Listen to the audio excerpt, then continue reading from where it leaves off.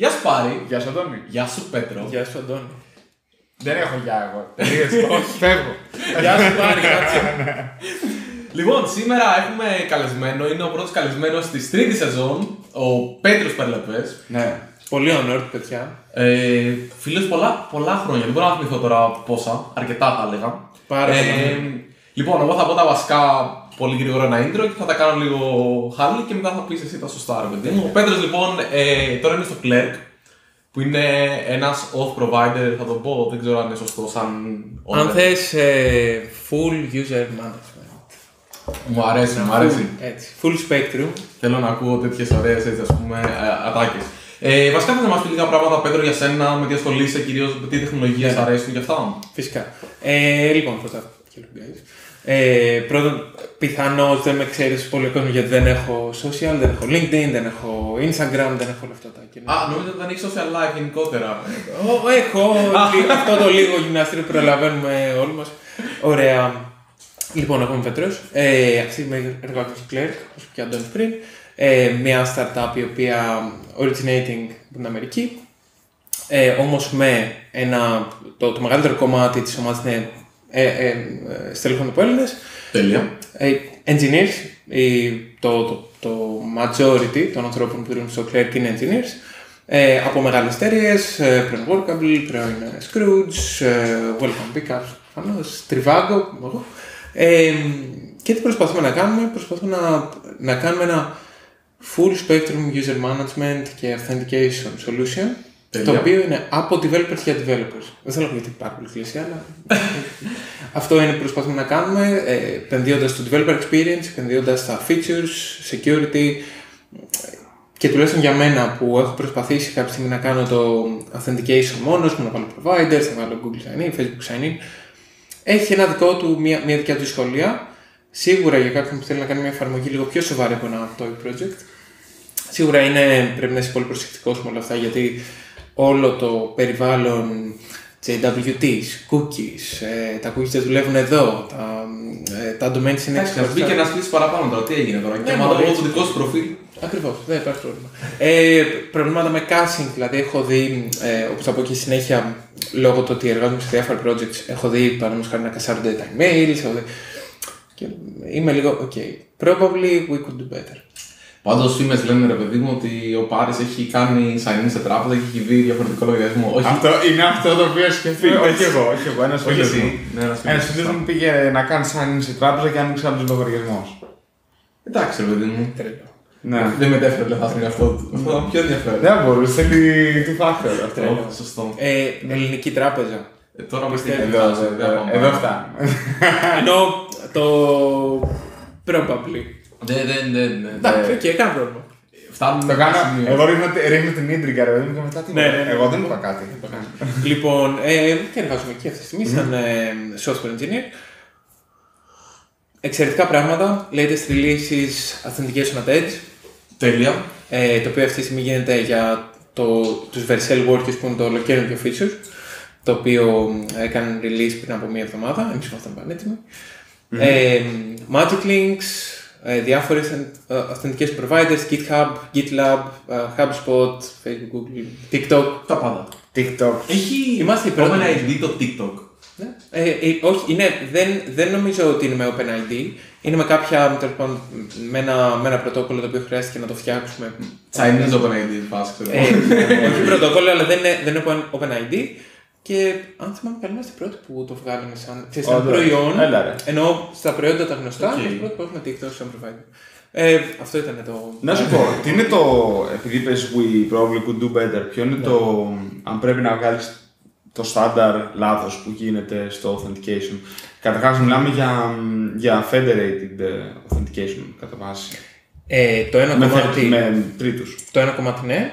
Ε, έχεις και την δυνατότητα να πεις ότι έχεις και username passwords. OK. we support that. Ε, και επίσης το Magic Link είναι ένα σχετικό, δεν, δεν, το, δεν το θεωρώ federated με, με κάτι. Όχι, όχι, δεν είναι. Ναι, δεν ναι. είναι, ξέρω. Ε, το κομμάτι του We Could Do Better, για μένα, αν θες, ποιο, ποιο είναι. Σίγουρα ε, τα, το, το environment, έξω ειδικά στο κομμάτι Node, JavaScript, ε, browser κομμα, ε, κομματιών, δεν είναι, πρώτον δεν υπάρχει ένα solution to rule them all. Αυτό είναι, η α- ε, αυτό είναι το, το, το, το πρώτο κομμάτι. Το solution δεν εννοώ πάντα ένα marketing solution, παραδείγματος χάρη όλοι βάζουν zero ή όλοι βάζουν clerk. Δεν υπάρχει μια αν θες περπατημένη το που θα πρέπει να είναι το authentication, θα είναι μόνο client side, θα είναι με τον ε, provider, ε, με- παραδείγματος χάρη με ένα Google sign in, με ένα Facebook sign in. Ε, θα είναι μια δικιά μου βάση, θα κάνω store τα passwords, ε, χρειάζεται συγκεκριμένου αν θες hashing αλγορίθμους για τους ε, password μου, είναι secure εκεί που είναι. Όλες αυτές τις σκέψεις και έχοντας στο μυαλό μας ότι το κομμάτι web security και όλα αυτά τα καινούργια breaches, ways που μπορεί να γίνουν ακόμα και, τα, και το OTP σου στο Ναι. πρωτόκολλο που χρησιμοποιεί το SMS μπορεί να γίνει hijack. Σου λέει ότι όλα αυτά ε, πρέπει σιγά σιγά να καταλαβαίνουμε ότι το πολύ πιθανό είναι ότι θα το κάνουμε, δεν θα έχουμε ένα full spectrum όπως security στο κομμάτι του χρήστη, sign in, ε, sign up κτλ. Όμως, ε, και όχι όμως, επίσης θα μας πάρει και πάρα πολύ, πάρα πολύ χρόνο να το φτιάξουμε. Οκ. Αυτό είναι για μένα το we could do better. Ότι πρώτον είναι ο χρόνος για να το υλοποιήσεις και δεύτερον, probably έχεις ένα, ε, ένα αυξανόμενο κομμάτι της δουλειάς που θα χρειαστεί να μπει εκεί μέσα. Δηλαδή, βάλαμε το Google Provider. Θα έρθει αύριο ο business user και θα σου πει. Τι βάζουμε και το Facebook. ας πούμε». Ναι. Ωραία. Έχει ένα on top work. Συνέχεια. Και ένα σύστημα το οποίο θα πρέπει να είναι τελείως ξεχωριστό από το main σύστημά σου, κρατώντας καλέ πρακτικές πάντα. Άρα θα πρέπει κάποιος να, να έχει κάποιον να ασχολείται σχεδόν exclusively με αυτό το πράγμα όταν περιμένεις ότι θα κάνεις scale. Σίγουρα υπάρχουν ε, κομμάτια ότι, OK, εγώ έχω φτιάξει ένα Google login, παίζει, το έχω αφήσει εκεί για πάντα. Ναι, αλλά πλέον α ας θυμηθούμε ότι στοχεύουμε σε όσο λιγότερο user friction ε, μπορούμε. Mm-hmm. Παραδείγματος χάρη, ε, ε, είναι ένα άλλο θέμα φυσικά, αλλά εγώ θεωρώ πολύ μεγάλο user friction να πούμε ότι χρειάζεται να έχεις ένα ε, two-factor authentication για να χρειαστεί απλά να μπεις σε ένα account το οποίο probably δεν θα έχει actions τα οποία έχουν κάποιο impact στο, στην εφαρμογή. Κάποιο impact το οποίο μπορεί να είναι κακόβουλο. Και αυτό πώς το εννοώ; Εμείς είμαστε engineers, ωραία. Και probably το, το κοινό που μας ακούει είναι engineers, πιο πολύ tech people. Για τους ανθρώπους οι οποίοι δεν είναι τόσο κοντά σε αυτό, εγώ αυτό που έχω ακούσει αρκετές φορές είναι από παρέες μου οι οποίες δεν είναι καθόλου techy, να λες, Ω, πρέπει και να παίρνω από το κινητό αυτό το κωδικό ή να έχω αυτό το YubiKey παραδείγματος χάρη.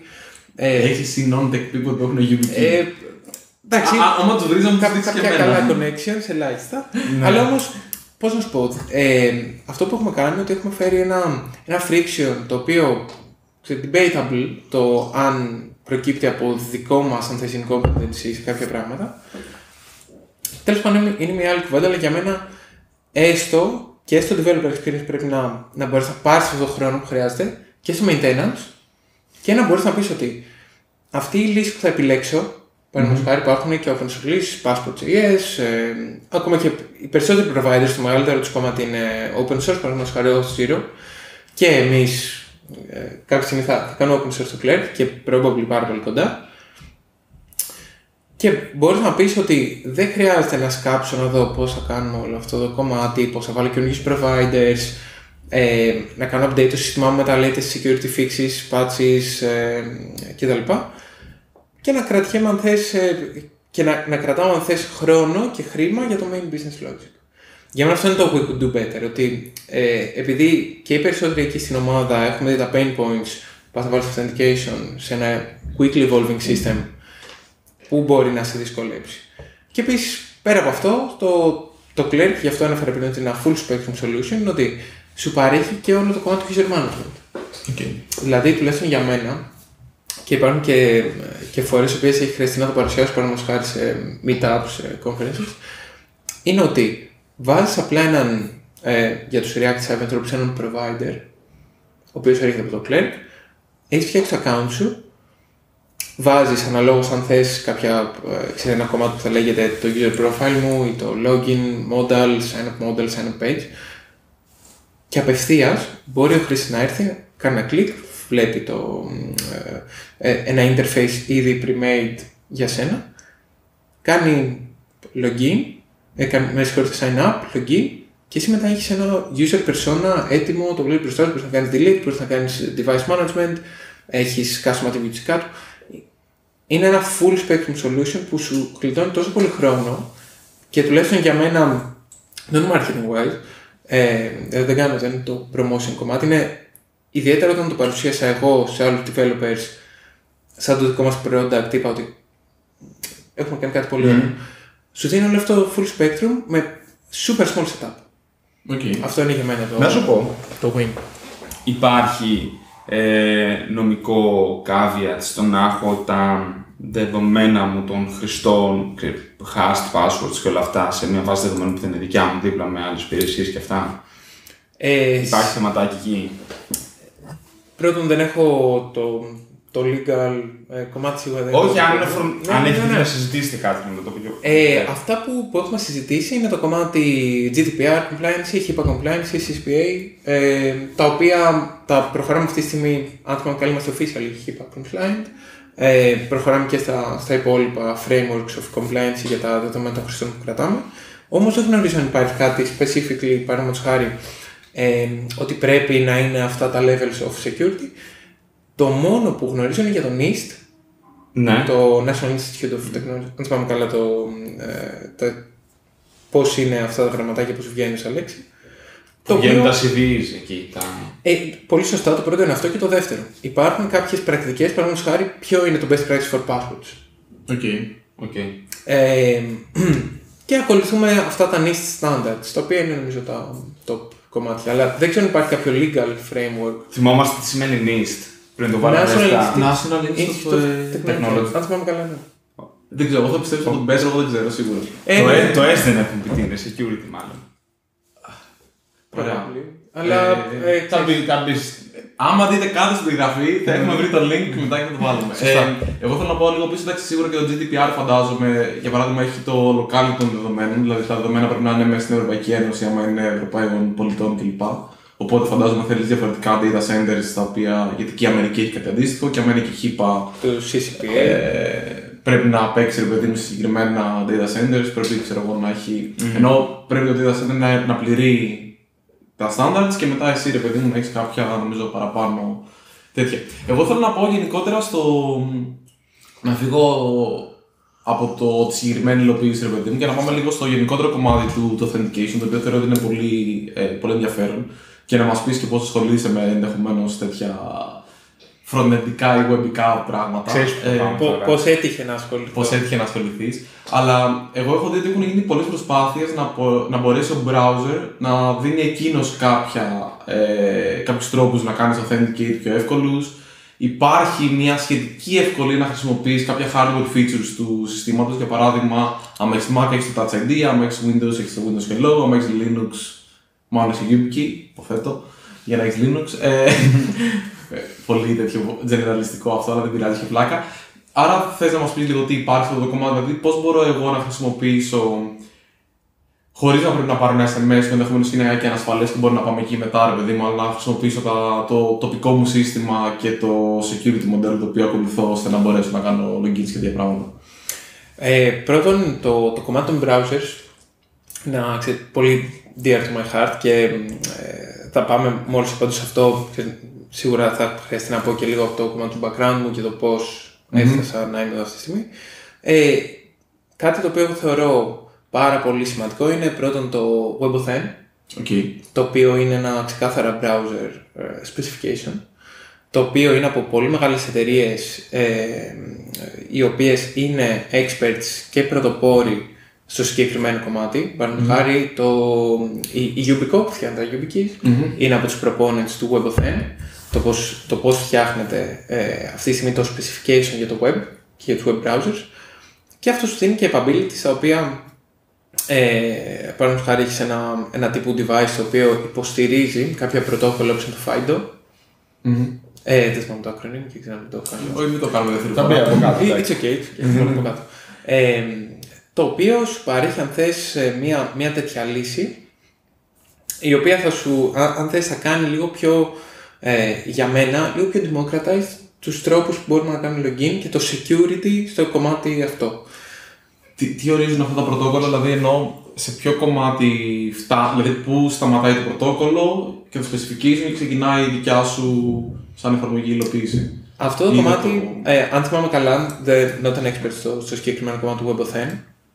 Αν, ε, αν και είναι πάρα πολύ ενδιαφέρον και είναι κάτι που στοχεύουμε κι εμείς at some point στο, στο Clerk, είναι ότι έχοντας το, το browser, στον οποίο εσύ καλείς κάποια JavaScript APIs σαν, σαν developer, αυτό που κάνεις είναι ότι ε, στέλνει ένα, ένα μήνυμα σε έναν server ο οποίος είναι ο δικός σου, ο οποίος μετά επικοινωνεί με αυτό το Fido protocol σε κάποιο τύπου device. Οκ. Το οποίο μπορεί να είναι ένα fingerprint scanner, μπορεί να είναι ένα. Ε, τώρα δεν ξέρω κατά πόσο τα κινητά έχουν αυτά τα FIDO, και, ε, FIDO capabilities. Ένα τύπου, μ, μια συσκευή όπως είναι το YubiKey. Οκ. Κάνεις, αν θες, χρησιμοποιείς οποιοδήποτε ε, τρόπο ταυτοποίησης στη συσκευή που έχεις και αυτό που γίνεται, γίνεται πάλι πίσω ένα exchange με κάποια συγκεκριμένα keys και σου λέει ο browser ότι ξέρεις είσαι authenticated. Ε, αυτό είναι, αν θυμάμαι καλά, το main example, το πώς θα μπορούσε να λειτουργήσει το WebAuthn στο browser, ε, με συγχωρείτε, το, το WebAuthn σαν πρωτόκολλο με βάση το browser. Και ε, πατάει πάνω σε αυτό το FIDO specification, το οποίο είναι ένα πάρα πολύ cool specification. Έχω ακούσει ε, διάφορα πράγματα και ε, διάφορα podcast τα οποία αγαπώ πάρα πολύ. Και νομίζω ότι είναι κάτι το οποίο θα πρέπει να έχουμε τα μάτια μας ανοιχτά. Όποιος engineer ασχολείται με, με authentication, με χρήστες, με security και επίσης με κάτι το οποίο θέλουμε να δώσει όσο λιγότερο friction, Μμμ. να έχουμε στο μυαλό μας ότι το WebAuthn είναι ένα πάρα πολύ ωραίο πρωτόκολλο, έρχεται. Ε, νομίζω ότι Έχει έρθει ήδη, πες μου. ναι, ναι, ναι. Σε, σε πολύ, σε, έχει ένα πάρα πολύ καλό coverage. Και η αλήθεια είναι ότι για το κομμάτι coverage, αφού, έχει, αφού έτυχε και, και το αναφέραμε αυτή τη στιγμή, για μένα πρέπει να είμαστε πάρα πολύ ε, προσεκτικοί με το κομμάτι τι θέλουμε, ποιους χρήστες θέλουμε να υποστηρίζουμε, παραδείγματος χάρη ποιες τεχνολογίες, και να γνωρίζουμε ότι πότε θα πρέπει εμείς, σαν developers, σαν engineers, δεν θέλω να μπούμε σε αυτή τη συζήτηση αμέσως, ενώ μπορεί να μπούμε στη συνέχεια, το πού θα πρέπει εμείς να πούμε ένα stop ότι ξέρεις τι, το συγκεκριμένο σύστημα που θέλουμε να υποστηρίξουμε για διάφορους λόγους, παραδείγματο χάρη δεν είναι ένας evergreen browser. Ε, Για τους ε, ακροατές, evergreen browser σημαίνει ότι έχει automatic updates, Μμμ. τα οποία παραδείγματο χάρη έρχονται στους χρήστες αυτόματα, δηλαδή ο, ο, ο Chrome σου μετά από 6 weeks θα κάνει restart από μόνος στο speak ξέρεις, μια καινούργια version. Ε, αυτό συμβαίνει σε όλους τους major browsers φυσικά έξω από το, ε, από το iOS και το Από Safari. το- από το γιατί Safari, ναι. προφανώς είναι ένα διαφορετικό release cycle για διάφορους λόγους, μπορούμε να πούμε αργότερα εκεί αφού πω, και ποια είναι η δικιά μου σχέση τουλάχιστον με τους Τέλεια, browsers. τέλεια. Ε, και για μένα ε, να κλείσω ότι πρέπει να μπορούμε εμείς σαν developers να πούμε έχουμε ένα support μέχρι το χ, μέχρι τη χ συγκεκριμένη τεχνολογία γιατί πολύ απλά δεν υποστηρίζει, για μένα το πιο σημαντικό, δεν υποστηρίζει τα, τα security SLAs που έχουμε αυτή τη στιγμή. Παραδείγματος χάρη ότι μία, ένα κομμάτι των χρηστών μας δεν είναι available να χρησιμοποιήσουν WebAuthn. Υπάρχουν δύο λύσεις. Είτε θα έχεις ένα πάρα πολύ graceful degradation of service, ή θα πρέπει μετά να κάνει design μόνος σου ένα άλλο solution το οποίο θα είναι equivalent- ε, ε, equivalently secure. Το οποίο είναι. δεν αποκλείεται. Αυτό το κλασικό παράδειγμα εμένα που θυμάμαι πάντα είναι όταν ε, προσπαθούσαν να σταματήσουν την υποστήριξη στον Internet Explorer ε, ο οποίος κάποια στιγμή νομίζω δεν υποστήριζε TLS 1.2. δεν- Τώρα μπορώ να λέω τυχαία έκδοση, δεν θυμάμαι ποια έκδοση ήταν που είχε 1,3 νομίζω. 1.3 ήταν. 1,3 είναι το latest. Και τέλος πάντων δεν υποστήριζε την τρέχουσα έκδοση. Όλοι πλέον είχαν κόψει οποιοδήποτε ciphers μπορούσε να υποστηρίξει ο Internet Explorer. Και ξεκινούσαν όλοι, όλο το business και έλεγε Μα είναι δυνατόν να μην υποστηρίζουμε, ξέρω εγώ. Εντάξει, Γιατί- γιατί... μέχρι το βάλει Microsoft που χρησιμοποιεί την Internet Explorer. Ε, εντάξει, νομίζω ότι η Microsoft True. κάποια στιγμή απλά το. Καλά, έχει σταματήσει updates, νομίζω παίζει να είναι κοντά δεκαετία που έχει σταματήσει. Είναι, είναι πολλά. Είναι πολλά. Ναι, σίγουρα. Και νομίζω φέτος σταμάτησε τα security patches. Ε, ή, ή, Ούτε πέρσι, security patches. το, ή, ή πέρσι το Σεπτέμβρη, ένα, δεν θυμάμαι ακριβώς την ημερομηνία, αλλά σχετικά πρόσφατα, stop. Και αυτό είναι. Ε, Ήταν κάποια στιγμή, ρε παιδί μου. Εντάξει, δηλαδή θυμάμαι ότι. Καλά και μετά από Windows XP που είχε κάνει πόσου κύκλους μετά. Α, που έλεγε, ναι, ναι, ναι, Θα ναι, σταματήσουμε ναι, τις ναι. security patches. Ε, θα σταματήσουμε τα major security patches. Ναι, ναι, ναι, θα ναι. σταματήσουμε τα super major security patches. Ξέρεις, κάθε φορά Τώρα, έβγαζε τα, κάτι. τώρα τα security patches για αυτούς που πληρώνουν. Δεν ξέρω, έκανα ένα τέτοιο. Εντάξει, τι πλέον. Να σου πω για το, για το WebAuthn. Ξέ, ε, θέλω να, να κάνω κάποιες ερωτήσεις σχέση με το, με το πώς λειτουργεί. Ε, κατά πρώτον, αυτό τελειώνει στο browser ή υπάρχει και ανταλλαγή με τον, με τον server. Δηλαδή, όλο αυτό, δηλαδή, εσύ λες, ωραία, θέλω να κάνω authenticate. Μιλάς με το feed device. Ωραία. Αυτό σου στέλνει πίσω κάτι. Το, authenticate, το authentication που γίνεται. Ο authentication τι είναι, λέμε ότι εσύ είσαι αυτός που λες ότι είσαι. Στην ουσία αυτό δεν είναι το authentication. Σωστά. Έτσι δεν γνωρίζουμε. Ωραία. Ε, στέλνε- στέλνονται τα δεδομένα που πίσω από το feed πίσω στο server. Ο server στέλνει κάτι public που το τοπικά το δοκιμάζεις. Πώς ε, παίζει Αν, αυτό; αν θυμάμαι καλά, ε, θα σε γελάσω για το, για το WebAuthn, δεν είναι κάποιο θέμα το οποίο έχω κάνει, ε, ξέρετε, κάποιο dive κτλ. Αν θυμάμαι καλά, αυτό που γίνεται είναι ότι τελικά η, ο έλεγχος των keys, τον, ο, η- τα οποία γίνονται exchange μεταξύ server device και browser γίνεται στο browser. Το Οκ. τελικό, ε, το Check. τελικό αν θες, check. Ε, και πάνω σε αυτό, αν, αν θυμάμαι καλά, αν δεν κάνω λάθος, γίνεται εκεί το τελευταίο check.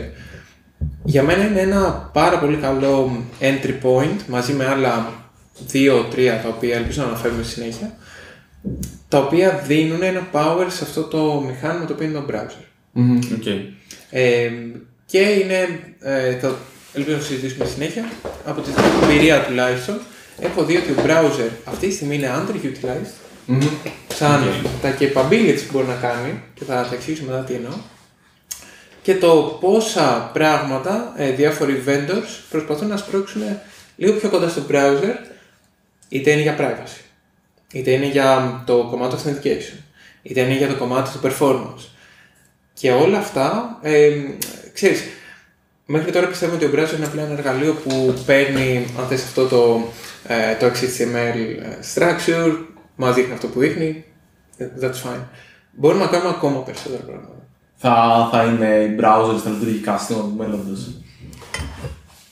Ε, αν κρίνουμε από το Chrome OS, τώρα δεν δεν- δεν γνωρίζω. Αλλά ε, πιστεύω έχουμε πάρα πολλά και εδώ και έχει- ιστορικά. Μήπως να ξεκινήσω πρώτα με το τι σχέση έχω εγώ με Ναι, το ναι, browser. πάμε, πάμε, πάμε από εκεί γιατί το έχουμε αφήσει. Ωραία. Δεν, περίμενα να το πεις στην αρχή, αλλά ήσουν Ναι, ναι, θα έκανα, πήγα έκανα, πίσω, έκανα θα λάθος. πήγα Ναι, ναι. Λοιπόν, ε, πρώτον, εγώ σαν, σαν Πέτρος Περλεπές είμαι invited expert στο W3C, ε, στο Worldwide Web Consortium, το οποίο είναι ουσιαστικά ο οργανισμός που ε, φτιάχνει και κάνει publish τα internet standards Μμμ. για το web. Ε, και εκεί είμαι invited expert στο Web Performance Working Group ιδιαίτερα, Οκ. στο οποίο είμαι εδώ και ένα χρόνο και, αν θυμάμαι, αν θυμάμαι σωστά, και προσπαθούμε να κάνουμε το web faster, faster place.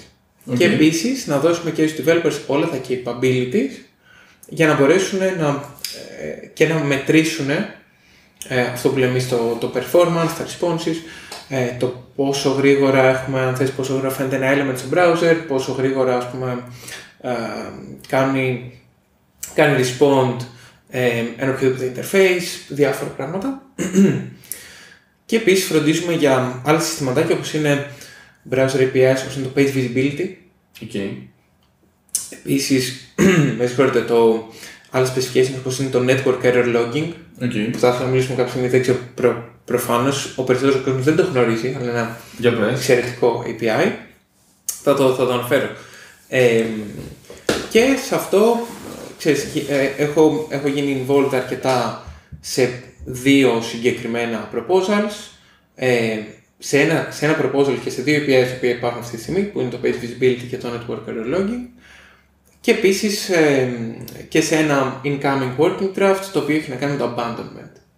Με το abandonment Τι είναι σε abandonment? συγκεκριμένα, ε, το συγκεκριμένο specification, το οποίο ε, είναι, αν θυμάμαι καλά, το λέγεται Web Abandonment API, μας δίνει το capability μέσω από τον browser να ελέγξουμε από τη στιγμή που θα φορτώσει, αν θέλετε, που θα έρθει το full response του document, μέχρι ένα user-defined uh, threshold Οκ. ή ένα default το οποίο υπάρχουν συζητήσεις ποιο, μπο- ποιο πιθανό θα είναι αυτό το default, να μπορούμε να πούμε ότι αν ο χρήστης έκλεισε το browser, έκανε navigate αλλού, έκλεισε το tab, πήγε σε άλλο, ε, παραδείγματος χάρη έκανε, έκανε κάποιο interaction το οποίο θεωρείται abandonment, μπορούμε αυτό να το κάνουμε report back.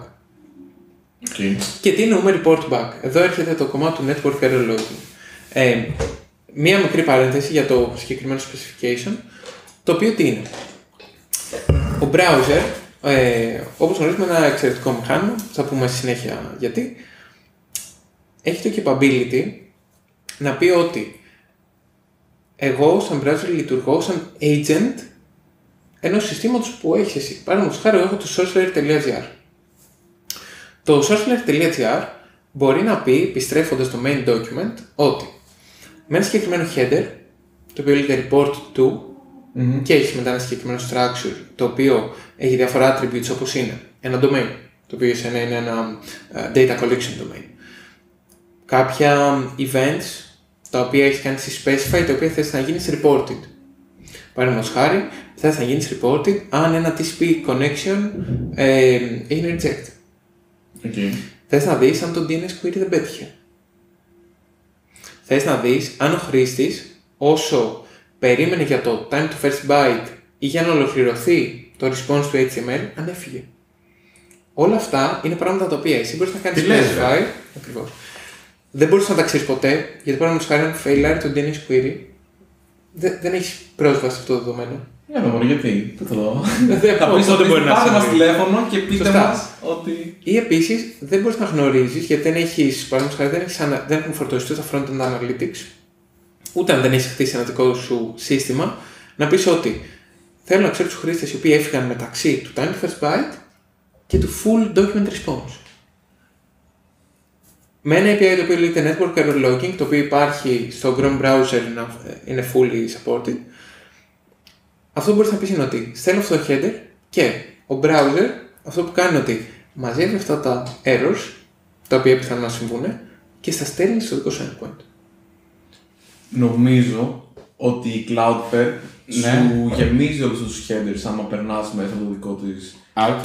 Δεν ξέρω αν είναι όλοι αυτοί Με, που με έχεις ανέφερα. πείσει, εντάξει. Με έχεις πείσει, δεν χρειάζεται άλλα. Ε, Εννοείται. όχι, γενικά ρε, εντάξει, ο, και CDN γενικότερα, οποιοδήποτε μπαίνει στη μέση, ε, σε βοηθάνε και να υλοποιήσει τέτοια πρωτόκολλα. Δηλαδή, HTTP3, πια calls, δηλαδή γενικά ρε, παιδί μου βάζεις κάτι μπροστά από το. Καλά, πάντω ξέρεις, πριν 5, 6, 7 χρόνια αυτός μου θα λέγαμε αυτά και μετά θα πήγε να πρώτη δουλειά στο GitHub. Πάμε να βάλουμε network. Το network Ε, error Το API γρήγορα. και- Custom όμως, Ναι, εμείς ναι, με το ναι, χέρι. δεχόμαστε. Ναι. Αυτό, ε, by the way, τώρα εντάξει, κουβέντα, κουβέντα να γίνεται. Αυτός σου στέλνει με κάποιο standard format, φαντάζομαι. Σωστά. Οκ. Ε, Ξέρεις τίποτα έτοιμο το οποίο τα συλλέγει αυτά, ωραία. Ε, υπάρχει ένα, ένα service το οποίο κάνει ακριβώς αυτό. Δηλαδή, ε, ε, νο- νομίζω επειδή μπορείς να βάλεις και κάποια πράγματα δυναμικά, δηλαδή δεν χρειάζεται να είναι μόνο σαν header στο, στο πρώτο document request, αλλά αυτό σημαίνει ότι χάνεις το, το πρώτο, δηλαδή αν πάει κάποιος να πει πρώτη φορά. ή Οκ. ε, το οποίο ε, σου κάνει αυτό το πραγματάκι το reporting, ε, ε, αν και θεωρώ ότι η υλοποίηση είναι super simple και ε, simple, όμως και επίσης ε, not complex. Γιατί κάτι μπορεί να είναι simple και να είναι complex. Simple, not complex και έτυχε και έχω φτιάξει ένα, ε, ένα συγκεκριμένο blog post για το πώς μπορούμε να χρησιμοποιήσουμε server στο Α, το τέλεια. ωραία. network error logging. Θα το, θα το βάλουμε και αυτό. Thank Μεγάλη λίστα θα έχουμε, μου φαίνεται αυτή τη φορά. Δεν πειράζει, καλό είναι. Εσύ τα γράφεις. Εγώ τα γράφω. Και τώρα πάμε στην κουβέντα, γιατί ξέρεις, ε, δεν, δεν είμαι εδώ απλά να πω για τα specifications κτλ. Πάμε λίγο στην κουβέντα ότι ε, εγώ είμαι στο Web Performance Working Group. Να εξηγήσω στον κόσμο λίγο τι σημαίνει αυτό. Εμείς που κάνουμε, ε, λέω ότι κάνουμε define τα specs, ε, βάζουμε τα charters για το τι θα δουλευτεί τον επόμενο καιρό από τους browsers. Ε, νομίζω ότι είναι, είναι ενδιαφέρον πρώτα να πούμε ένα specification ποια steps έχει για να βγει. Μπράβο, ήταν το επόμενο που θα ρωτούσα Τέλεια. σίγουρα εγώ. Τέλεια. Και το ενδιαφέρον έτσι λίγο το πιο cheesy είναι τα conflicts. Να, να πω, πριν, πριν πεις να, να ρωτήσω, υπάρχει κάποιο specification στο οποίο ήσουν μπλεγμένος από την αρχή σχετικά, για από αρχικό στάδιο; Ε, δεν είχα αρκετό καιρό να είμαι στο W3C για να είμαι σε fully, Α, οκ. σε full spectrum, γιατί θα Οκ. okay. ένα spec για να βγει και θα εξηγήσω τα steps. Θέλει πάρα πολύ καιρό. Ε, λογικό. Μπορείς να γιατί- μας πεις ποιο είναι αυτό που ήσουν τον περισσότερο καιρό στη διαδικασία; Ε, το, το πιο involved είναι στο Web Abandonment API, Οκ. στο High Resolution Timing, το Οκ. οποίο ε, είναι αν θες, το πρωτόκολλο που δίνει τα, τα High Resolution Timestamps σε διάφορα events, τα οποία μπορεί να συμβούν στο, στο browser και πιο συγκεκριμένα το δικό μας κομμάτι Web Performance. Ε, Και επίσης τα δύο υπόλοιπα, το page visibility και το network error logging, το οποίο έκανα πιο πολύ λίγο advocacy, ξέρω, να το, να το μάθουμε και να γνωρίσουμε και τα, τα προβλήματα που έχω. Ε, αυτά ήταν τα, τα τέσσερα specs τα οποία actively έχω, ε, ε, έχω γίνει involved.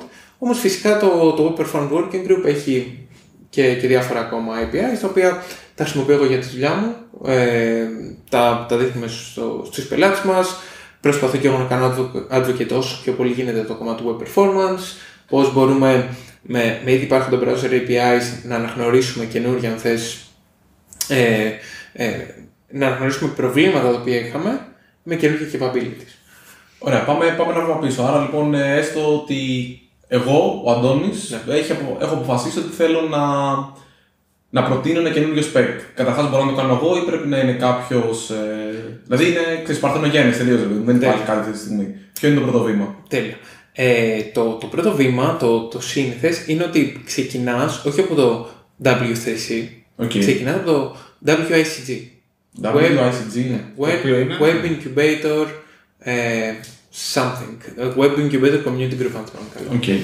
Το οποίο τι κάνει, μπορείς εσύ, σαν ε, Αντώνη, σαν πάρει, να πεις ότι βάζω ένα καινούργιο specification, έχω φτιάχνει ένα πρώτο draft και μετά ξεκινάω το προτείνω στο συγκεκριμένο group, το οποίο είναι πιθανώς υπεύθυνο για το συγκεκριμένο. Ε, ξεκινάω με την ε, περιγράφωση μια λύση ή ξεκινάω από το πρόβλημα και λέω παιδιά πρέπει κάπως να μετράω το ότι έσκασε το DNS query, ας πούμε για να πάμε στο, σε κάτι. Σωστά.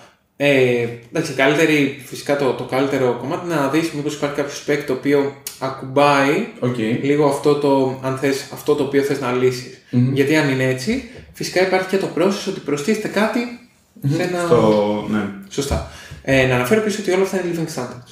Είναι living standards. Δηλαδή, ε, όπως θα πω και συνέχεια για το page visibility, το οποίο ήταν πολύ ενδιαφέρον κομμάτι, ε, τη, τη στιγμή που έφτιαχνα εγώ το solution ε, για την εταιρεία που δούλευα εκείνη τη στιγμή, το spec γινόταν ξανά reform, το HTML spec. Okay. Ε, κάποια, κάποια πράγματα εκεί πάνω, τα οποία, ε, παραδείγματος χάρη, το implementation μπορεί να ήταν διαφορετικό από το spec. Από okay. τους browsers. Okay. Το implementation ήταν διαφορετικό από το spec. Ε, για να συνεχίσω με την, με την απάντησή μου για το πώς ξεκινά το, το συγκεκριμένο ε, spec. Πας στο WSCG, φτιάχνεις ένα proposal, Ωραία. το στέλνεις μετά ε, αυτό που γνωρίζω εγώ, το, το πιο sense process, μπορεί να το στείλεις στο, στο W3C, σε κάποιον director, σε κάποια από τα groups, ότι θέλουμε να το πάρουμε αυτό στη δικιά μας, αν θες, ε, αγκαλιά. Okay. Τον, τον spec, τον οποίο το δικό μας group έχει, αν θες, ε, έχει, έχει responsibility. Θα σου ζητήσουν, θα έχεις feedback. Θα έχεις ένα συνεχόμενο feedback. Ε, κάτι, μια εμπειρία δικιά μου που είναι πολύ αστεία ήταν ότι στο, σε ένα hackathon που είχαμε κάνει για κάποιες specs, μου πήρε πραγματικά 4-5 back and forth για να αλλάξω μια πρόταση. Ναι. Μια πρόταση, έτσι. Ε, το οποίο είναι από τη μία είναι discouraging σαν ξέρεις είμαι συνηθισμένος, ξέρεις κάνεις ένα pull request, παίρνεις ένα comment, probably it's okay. Το να περάσει ένα συγκεκριμένο wording στο spec είναι, είναι big deal. Εντάξει, φαντάζομαι ότι είναι και κάθε πρόταση μετράει. Δηλαδή δεν είναι ότι έχω γράψει την έκθεση ζωή μου εγώ εκεί πέρα και μια πρόταση είναι ε, ίσως επειδή αυτά είναι standard σχόλια και δεν είναι κάτι το οποίο το έχουμε μεταξύ μας, αλλά είναι κάτι που θα υλοποιηθεί από όλους, πρέπει να είσαι ακριβολόγο. Σωστά. Εντελώς. Πολύ σωστά. Και κοστίζει έτσι. Δηλαδή, φαντάζομαι ότι ναι. μια πρόταση μπορεί να είναι ξέρω εγώ, αρκετές. Δηλαδή, όντως, ε, ξαφνικά θα καθίσει η Google, η Microsoft, η Mozilla και η Apple τουλάχιστον και θα φτιάξουν αυτό που γράφεις. Τέλεια. Οπότε... Θα σου πω αμέσως πώς αυτό όντως πάει στην υλοποίηση. Κάνεις το specification. Ε, Ξεκινάς εσύ το δικό σου τρεφτάκι. Πες ότι το παίρνει μια ομάδα από το W3C παίρνει ένα πρώτο status που λέγεται WD, Working Draft. Okay.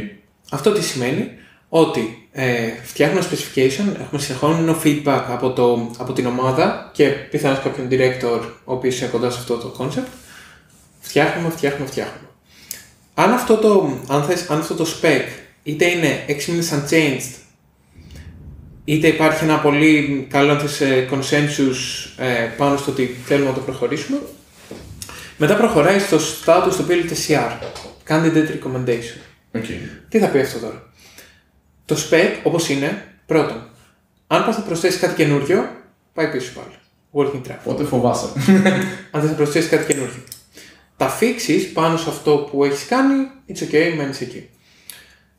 το ότι ένα specification είναι στο candidate recommendation, στο CR, σημαίνει ότι πλέον χρειαζόμαστε development experience για αυτό το κομμάτι. Τι σημαίνει Οκ. αυτό. Ε, εγώ σαν Better, σαν Invited Expert που δεν εργάζομαι σε κάποιο browser, Safari, Google, Mozilla, ε, δεν ξέρω εγώ, Internet Explorer, ε, Edge πλέον, Έτσι. Σωστά. Ε, θα χρειαστεί να πούμε ότι θέλω ένα, ένα estimation, ένα, ε, ένα consensus ότι αυτό το πράγμα μπορούμε να το φτιάξουμε Μμμ. και θέλω να μου πείτε ότι θα δουλέψει καλά στο δικό σας σύστημα. Ε, θέλουμε να το πάρουμε. Είναι κάτι που θα κάνουν benefit πάρα, πάρα πολλοί χρήστες. Γι' αυτό υπάρχουν τα groups. Δηλαδή, τα groups, τα οποία παραδείγματος χάρη εγώ είμαι στο Performance Working Group, κάνουν consist από εταιρείες οι οποίες είναι major browsers ε, και εγώ αυτό που έχω δει πιο πολύ είναι CDNs Οκ. γιατί ε, δεν το έχουμε πολλές φορές στο μυαλό μας, αλλά τα CDNs είναι αυτά που είναι actually το backbone του performance μια εφαρμογή η οποία κάνει spread across the web. Ε, και όλα αυτά τα features που βλέπουμε, πόση ώρα μου λέει το, το Cloudflare ότι κάνει απάντηση, πότε φόρτωσε αυτό το element κτλ. που πλέον τα δίνουν τα modern CDNs, είναι επειδή είναι πάρα πολύ engaged και με τα, με τα κοινωνικές Και specifications. φαντάζομαι ότι είναι ο browser και το CDN είναι οι δύο οι οποίοι πραγματικά άμα συνεννοούνται καλά θα μπορέσουν να σου δώσουν μια πολύ καλή Ακριβώς. ε, ένα πολύ καλό performance. Ακριβώς. Και, και το κομμάτι ότι ε, θα το αναφέρω στη συνέχεια αφού τελειώσουμε το specification, ο browser είναι ένα τρομερό εργαλείο, ξαναλέω, και επίσης έχει φροντίσει τόσο πολύ για μας που τελικά το slowest thing στο φόρμα μέσα σελίδας είναι ο δικό μα κώδικα. Αυτό είναι το λεπτό δικό μου τριστάνο. Αυτό. Ωραία. Αυτά πάνε, είναι άλλη συζήτηση. Κάντε recommendation. Παίρνουμε το feedback από τους browsers, από real world, u- από, με συγχωρείτε, από usage και probably το πώς μπορεί αυτό το πράγμα να γίνει. Μπορεί να έχουμε ένα draft implementation. Οκ, κάποιος browser για, για παράδειγμα. Ή... Ε, εγώ θα στο πάω λίγο πιο πίσω. Μπορεί να έχουμε ένα τύπου polyfill το οποίο μπορεί να Οκ. δείξει πώς αυτό το πράγμα μπορεί να χρησιμοποιηθεί αν είναι, αν είναι ένα τέτοιο spec το οποίο μπορούμε να το, ε, μπορεί να γίνει τύπου στο browser. Δηλαδή δεν είναι κάτι το οποίο θα έρθει παραδείγματος χάρη από connections και τα λοιπά που δεν θα μπορούμε να έχουμε τόσο πολύ, ε, τόσο πολύ εύκολα open source μια τέτοια, ε, μια τέτοια υλοποίηση. Αφού πάρουμε feedback και δεν ξέρω και εγώ τι, μετά γίνονται λίγο πιο σοβαρά τα πράγματα. Αφού ο, υπάρχει ένα consensus στο group, μην ξεχνάμε ότι αυτό είναι group, που σημαίνει ότι εγώ, αν πω ότι ε, και υπάρχουν τέτοιες συζητήσεις, τα περισσότερα meeting μας είναι public, online, στο, στο Web Performance Working Group Channel, στο YouTube. Εγώ μπορεί να πω, παραδείγματος χάρη όποιος γνωρίζει λίγο το κομμάτι του Front-end Web Performance APIs, μπορεί να πω ε, Performance Get Entries by Type, που είναι ένα συγκεκριμένο browser API, το οποίο μας δίνει συγκεκριμένα δεδομένα όπως είναι το navigation timing, πόση ώρα έκανε να φορτώσει το, το Οκ, document ναι, κτλ. ναι, ναι, ναι. Εγώ μπορώ να πω, παιδιά, στο επόμενο iteration να το κάνουμε αυτό, να φέρνει array, να φέρει object. Θα συζητήσουμε μεταξύ μας 5-6 άτομα και Ναι, οκ. that's it. Ε, μετά πάμε στο επόμενο επίπεδο, το οποίο είναι το PR, Proposed Recommendation. Οκ. Το οποίο, ε, τουλάχιστον in my understanding, είναι απλά ότι πλέον τα πράγματα είναι λίγο πιο core. Ε, στο, στο κομμάτι αυτό του specification, όταν είναι PR, αυτό που έχω δει με το δικό μου experience είναι ότι πιθανώς θα έχεις ένα browser ο οποίος θα το, θα το κάνει implement. Μμμ. Και συνήθως εντάξει, ε, Είναι ο Chrome. είναι ο Chrome. ο οποίος έχει και το Η capability Chromium του based browser θα λέμε για να είμαστε σωστοί. Να ρωτήσω κάτι σε αυτό. Ναι. Όντως, συνήθως είναι οι Chrome based browsers αυτοί οι οποίοι το υλοποιούν Όχι. πρώτα. Όχι. Όχι. Αυτό δεν είπαμε τώρα. Το specification, όχι τα features. Δηλαδή, εγώ έχω ένα specification το οποίο είναι παραδείγματος χάρη το user agent ε, ε, reduction. Το οποίο τι είναι, ένα initiative για να Να μειώσουν μειώσουμε. το κείμενο. Ναι. Ακριβώς, Το, το τέλεια. έχω δει. Τέλεια, και για να είναι λίγο πιο understandable, αλλά και για να μειώσουμε το fingerprinting ε, capability. Το συγκεκριμένο δεν θα περάσει στο, παραδείγματος χάρη στο Blink, Οκ. στο, ε, στο, στο Blink για να πάμε μετά στο Chromium, αυτό που θα γίνει είναι ότι ο Chrome, αν ήταν ένα specification όπως λέμε τώρα, το οποίο είναι σε, σε ε, PR, σε Proposed Recommendation, μπορεί να το βάλει σαν Origin Trial. Οκ. Σαν Άρα, origin, Trial. Δηλαδή; Τι είναι αυτό, αυτό είναι ένα capability το οποίο ε, είναι παραδείγματος χάρη τα experimental features, το οποίο μπορείς να ανοίξεις στο Chrome. Α, με τα flags αυτά που Σωστά. πας πάνω, οκ. Σωστά. Άρα θα πρέπει να το βάλουμε στο core, θα το βάλουμε ας πούμε, σαν πιο ψηλά ας πούμε, σαν Πολύ feature σωστά. και μετά θα περαστεί στο core. Πολύ σωστά. Ε, και αν περαστεί στο core. Okay. Γιατί μπορεί να πει παραδείγματος χάρη Google ότι ξέρεις. Δεν με ενδιαφέρει εμένα το video.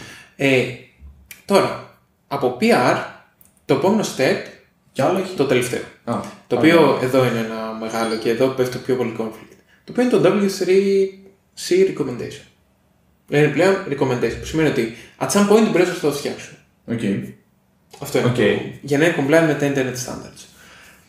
Εντάξει, ποιο θα είναι αυτό το point στο Safari, μπορεί να είναι. Να. Λοιπόν, τέλεια, τέλεια. Ε, να πω, νομίζω εδώ έχει να πάμε και λίγο στα cheesy.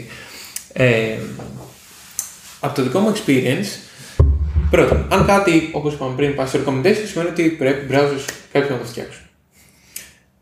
Ένα-δύο caveats. Το πρώτο είναι ότι οτιδήποτε πάει στο W3C είναι subject σε συγκεκριμένο patent policy. Okay. Αυτό έτσι, just, just to know. Δηλαδή, Είναι κομμάτι του W3C. οπότε δεν μπορείς να κάνεις οτιδήποτε, να πατεντάρεις οτιδήποτε το ακουμπάει. Οκ. Σωστά, αυτό έτσι, ju- just to know. Ε, τώρα, αυτό που γίνεται στα working groups είναι ότι μία φορά ε, το χρόνο, το εξάμεινο νομίζω είναι και based στο, στο participation και του group κτλ. Έχουμε αυτό που λέμε το charter. Ε, Κάνουμε define το charter. Το οποίο τι είναι, ποια specifications θέλουμε να δουλέψουμε τους επόμενους 6 μήνες from year. Mhm. Αυτό, όπως καταλαβαίνουμε, είναι, είναι πάρα πολύ σημαντικό γιατί ότι δουλεύετε σημαίνει ότι είναι το candidate για να προχωρήσει σε τέτοια ε, κάποιο step, τελικά να γίνει recommendation, να δούμε πώς θα μπορούσαμε να το κάνουμε και γενικά υπάρχει ένα sense ότι αυτό το πράγμα θέλουμε να βγει και είναι κάτι που το χρειαζόμαστε όλοι. Α, το πρώτο μου αν θες meeting, το οποίο ήμουν παρόν για το charter του Web Performance Working Group, Συνήθως το participation στο, στο working group το δικό μας είναι από 6 μέχρι 12 άτομα Ενώ κάθε φορά. Πόσα Κάθε... είναι το group όλο περίπου; Τώρα θα σε γελάσω, αλλά. Μια τάξη μεγέθους είναι 50, είναι 100, είναι. Ε, 50 με 100. Οκ. Εκεί θα, δηλαδή. Εκεί μένει, οκ. Ναι, κρατώντας και, 75. κάποια, και κάποια, έτσι, κάποια ιστορικά, αν θες, ε, Ναι. μέλη. Και τι γίνεται; Έχει περάσει ένα χρόνο που συζητάμε, ξέρεις, αυτά, το σχέδιο specification, όλα καλά. Να σημειώσω ότι στο working group ε, έχεις representatives από Mozilla, έχεις representatives από Safari, έχεις Google representatives, ε, ανθρώπους από το Akamai, ανθρώπους... Ε, Microsoft ρε, έχουν, έχουν και αυτοί browser, μην τους ξεχνάς στο κακομοίρι. Κοίτα, ε, τώρα αυτό, fun fact, δεν έχω δει κανέναν. fun fact. Ε, δεν ξέρω αν... Ε, ξέρω, Και, ο- και ο Edge δεν πάει για Blink νομίζω. Αν πάει, αφού είναι Chrome. Έγινε, Ε, έγινε. έτσι, ε, το όχι έτσι Blink, είναι έγινε- Chrome. έγινε Είναι Chrome. Ναι, ναι, ναι. Το Blink Οκ. είναι το rendering engine του Chrome. Τώρα, τι γίνεται, είμαστε στις 5, 6, 7, συζητάμε. Ε, αυτό που Safari, ξέρεις, λίγο πάντα κρατιέται πίσω. Αυτό που Mozilla είναι, ξέρεις, against Google κτλ. Και φτάνουμε στο charter. Στο charter meeting είχε μπει 35-40 άτομα. Οκ. Και έχουμε ανοιχτές τι κάμερες, όλοι χαρούμενοι, ξέρετε τι θα ξεκινήσουμε να δουλεύουμε τους επόμενους μήνες, ένα χρόνο. Σαν συνέντευξη σχολείου μου ακούγεται. Ακριβώς. Ή σαν ένα, αν θες, ε, σαν ένα WebEx με του σχολείου διευθυντές, κάτι τέτοιο. Όλοι χαρούμενοι, ας πούμε. Και πραγματικά είναι, είναι πολύ ωραίο γιατί νομίζω είναι public αυτό το βίντεο. Είμαστε όλοι με, τη, με το χαμόγελο μέχρι εδώ, ειδικά εγώ. Ε, και τι συμβαίνει. Ξεκινάμε, ο coordinator, ένας από τους chairs, λέει παιδιά, σήμερα το chair meeting. Και θέλουμε να συζητήσουμε το, το, το, τι θα πιάσουμε για τον επόμενο 6 μήνες ένα χρόνο σαν charter. Αυτό είναι επίσημο. Αυτό είναι δηλαδή το Το πρωτόκολλο το οποίο είναι στο, τελευταίο, στα- στο πρώτο τελευταίο στάδιο να πάει Όχι στο μόνο, τελευταίο; στο, όχι μόνο έτσι, μπορεί να έχεις ένα working draft το οποίο θέλουμε να το σπρώξουμε. Α, οκ. Επειδή βλέπουμε ότι έχει βάλει. Και τι γίνεται. Ξεκινάμε, λέμε παραδείγματος χάρη το, δεν θυμάμαι καλά, το HR Time Level 2, που σημαίνει το καινούργιο version του High Resolution Timing. Ένα παράδειγμα, δεν θυμάμαι ακριβώς ποιος παίξει. Ξεκινάμε Google όλα καλά, all good. Ε, Safari, no. Δεν, δεν έχουμε, ε, πώς να πω, intent να το κάνουμε implement. Mozilla, ε, Ζοριζόμαστε. δεν έχουμε intent να το κάνουμε implement. Και γίνεται αυτό μία-δύο φορές και να βλέπεις μετά όλοι απλά κλείνουν τις κάμερες. Έτσι. Κλείναν κάμερες. Κλείναν κάμερες και είναι. Το, το χαμόγελο από όλους που- Που πέφτει. Αυτό γιατί. Πρέπει να καταλάβουμε ότι. και να σημειώσω ότι ανέφερα πριν ότι αυτοί οι άνθρωποι είναι σχεδόν σε κάθε meeting. Οι ίδιοι άνθρωποι. Κάνουμε αυτή την κουβέντα ένα χρόνο, ότι ωραία, ας πάμε το χ, ψ, Και όταν z, το spec, κάνουμε. και όταν έρχεται το charter time, παπ, πέφτει το χαμόγελο. Από τη μία, ε, για μένα πρέπει να ζυγίσουμε λίγο κάποια πράγματα. Πρώτον, ένα intent του implement από έναν επίσημο representative του Safari θα πει ότι η ομάδα του Safari θα πρέπει να δώσει τα key resources για να κάνει implement αυτό το feature, το οποίο παραδείγματος χάρη η Google να έχει 50 engineers από πάνω ε, και έχει και ένα open source engine, το, ε, το, το Chromium, το οποίο έχει και άλλα μάτια πάνω. Δεν είναι παραδείγματος χάρη για το WebKit, το οποίο χρησιμοποιείται κυρίως μόνο από το, από το Μόνο το Safari. Safari. Σωστά. Ε, και σημαίνει ότι, πώς να σου πω, αν μου πεις εσύ ότι τα βάζουμε αυτά στο charter, σημαίνει ότι κάποια στιγμή θα πρέπει να δώσω εγώ κάποια resources. Το ίδιο και με τη Mozilla. Ε, σημαίνει ότι intent to implement σημαίνει ότι σε θα δώσουμε resources, τα οποία μπορεί να μην έχουμε, τα οποία μπορεί να θέλουμε να, να δώσουμε για άλλους σκοπούς. Είναι όμως ε, ένα private company, έτσι. Εκεί για μένα είναι πολύ, ε, πολύ ευχάριστη συζήτηση, αλλά είναι κάτι το οποίο πρέπει να έχουμε στο μυαλό μας, είναι ότι η, αν θες, τα τύπου conflict, δεν δεν θα το πω το school conflict, θα το πω ε, αν θες δοκιμασίες, challenges, μεταξύ κάτι το οποίο είναι ένα specification, ένα public specification, το οποίο πρέπει να γίνει implement σε τύπου private companies. Γιατί μιλάμε ότι, ok, είναι ε, faster web, ναι, βοηθάει τους engineers, ναι, ναι, ναι, όμως at the end of the day είναι engineers οι οποίοι είναι high paid engineers, είναι companies οι οποίες είναι super fast moving. Αυτό που έχω να πω όμως, ε, το οποίο στο, δικ- με το δικό μου experience, είναι ότι η ομάδα της Google κάνει εξαιρετική δουλειά. Ε, είναι πάρα πολύ forward looking. Εντάξει, είναι, είναι το μόνο gateway. Περιμένω, της Google περιμένω σε- το αλλά. Περιμένω το αλλά. Ε, κοίτα, θα, θα σου πω το, το αλλά. Ε, είναι πάρα πολύ forward looking, είναι άνθρωποι οι οποίοι τουλάχιστον εγώ ε, δεν έχω νιώσει κάποια στιγμή ότι έχουν ένα κακό mood, έχουν ένα κακό vibe, το οποίο το έχω νιώσει πραγματικά χάρη από ένας σαφάρι. Άλλους; ναι. Δεν ξέρω, δεν, τρε- δεν τρέπομαι. Έτσι, στην invite expert είμαι, δεν είμαι από κάποια εταιρεία και κάνω present. Και είμαι, ε, ξέρω, πρέπει να σου πω, έχω μόνο καλά experiences.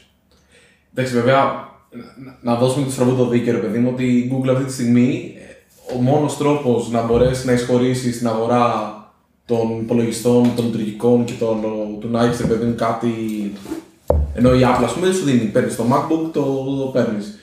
Η Mozilla, εντάξει, είναι αυτοχοσγενής. Ναι. Κακά τα ψέματα, ρε παιδί μου, μπορεί να κάνουν φοβερή δουλειά, πιστεύω ότι έχουν κάνει όντως φανταστική δουλειά, αλλά άμα η Microsoft, η Google και η Apple σταματήσουν να κάνουν fan τη Mozilla,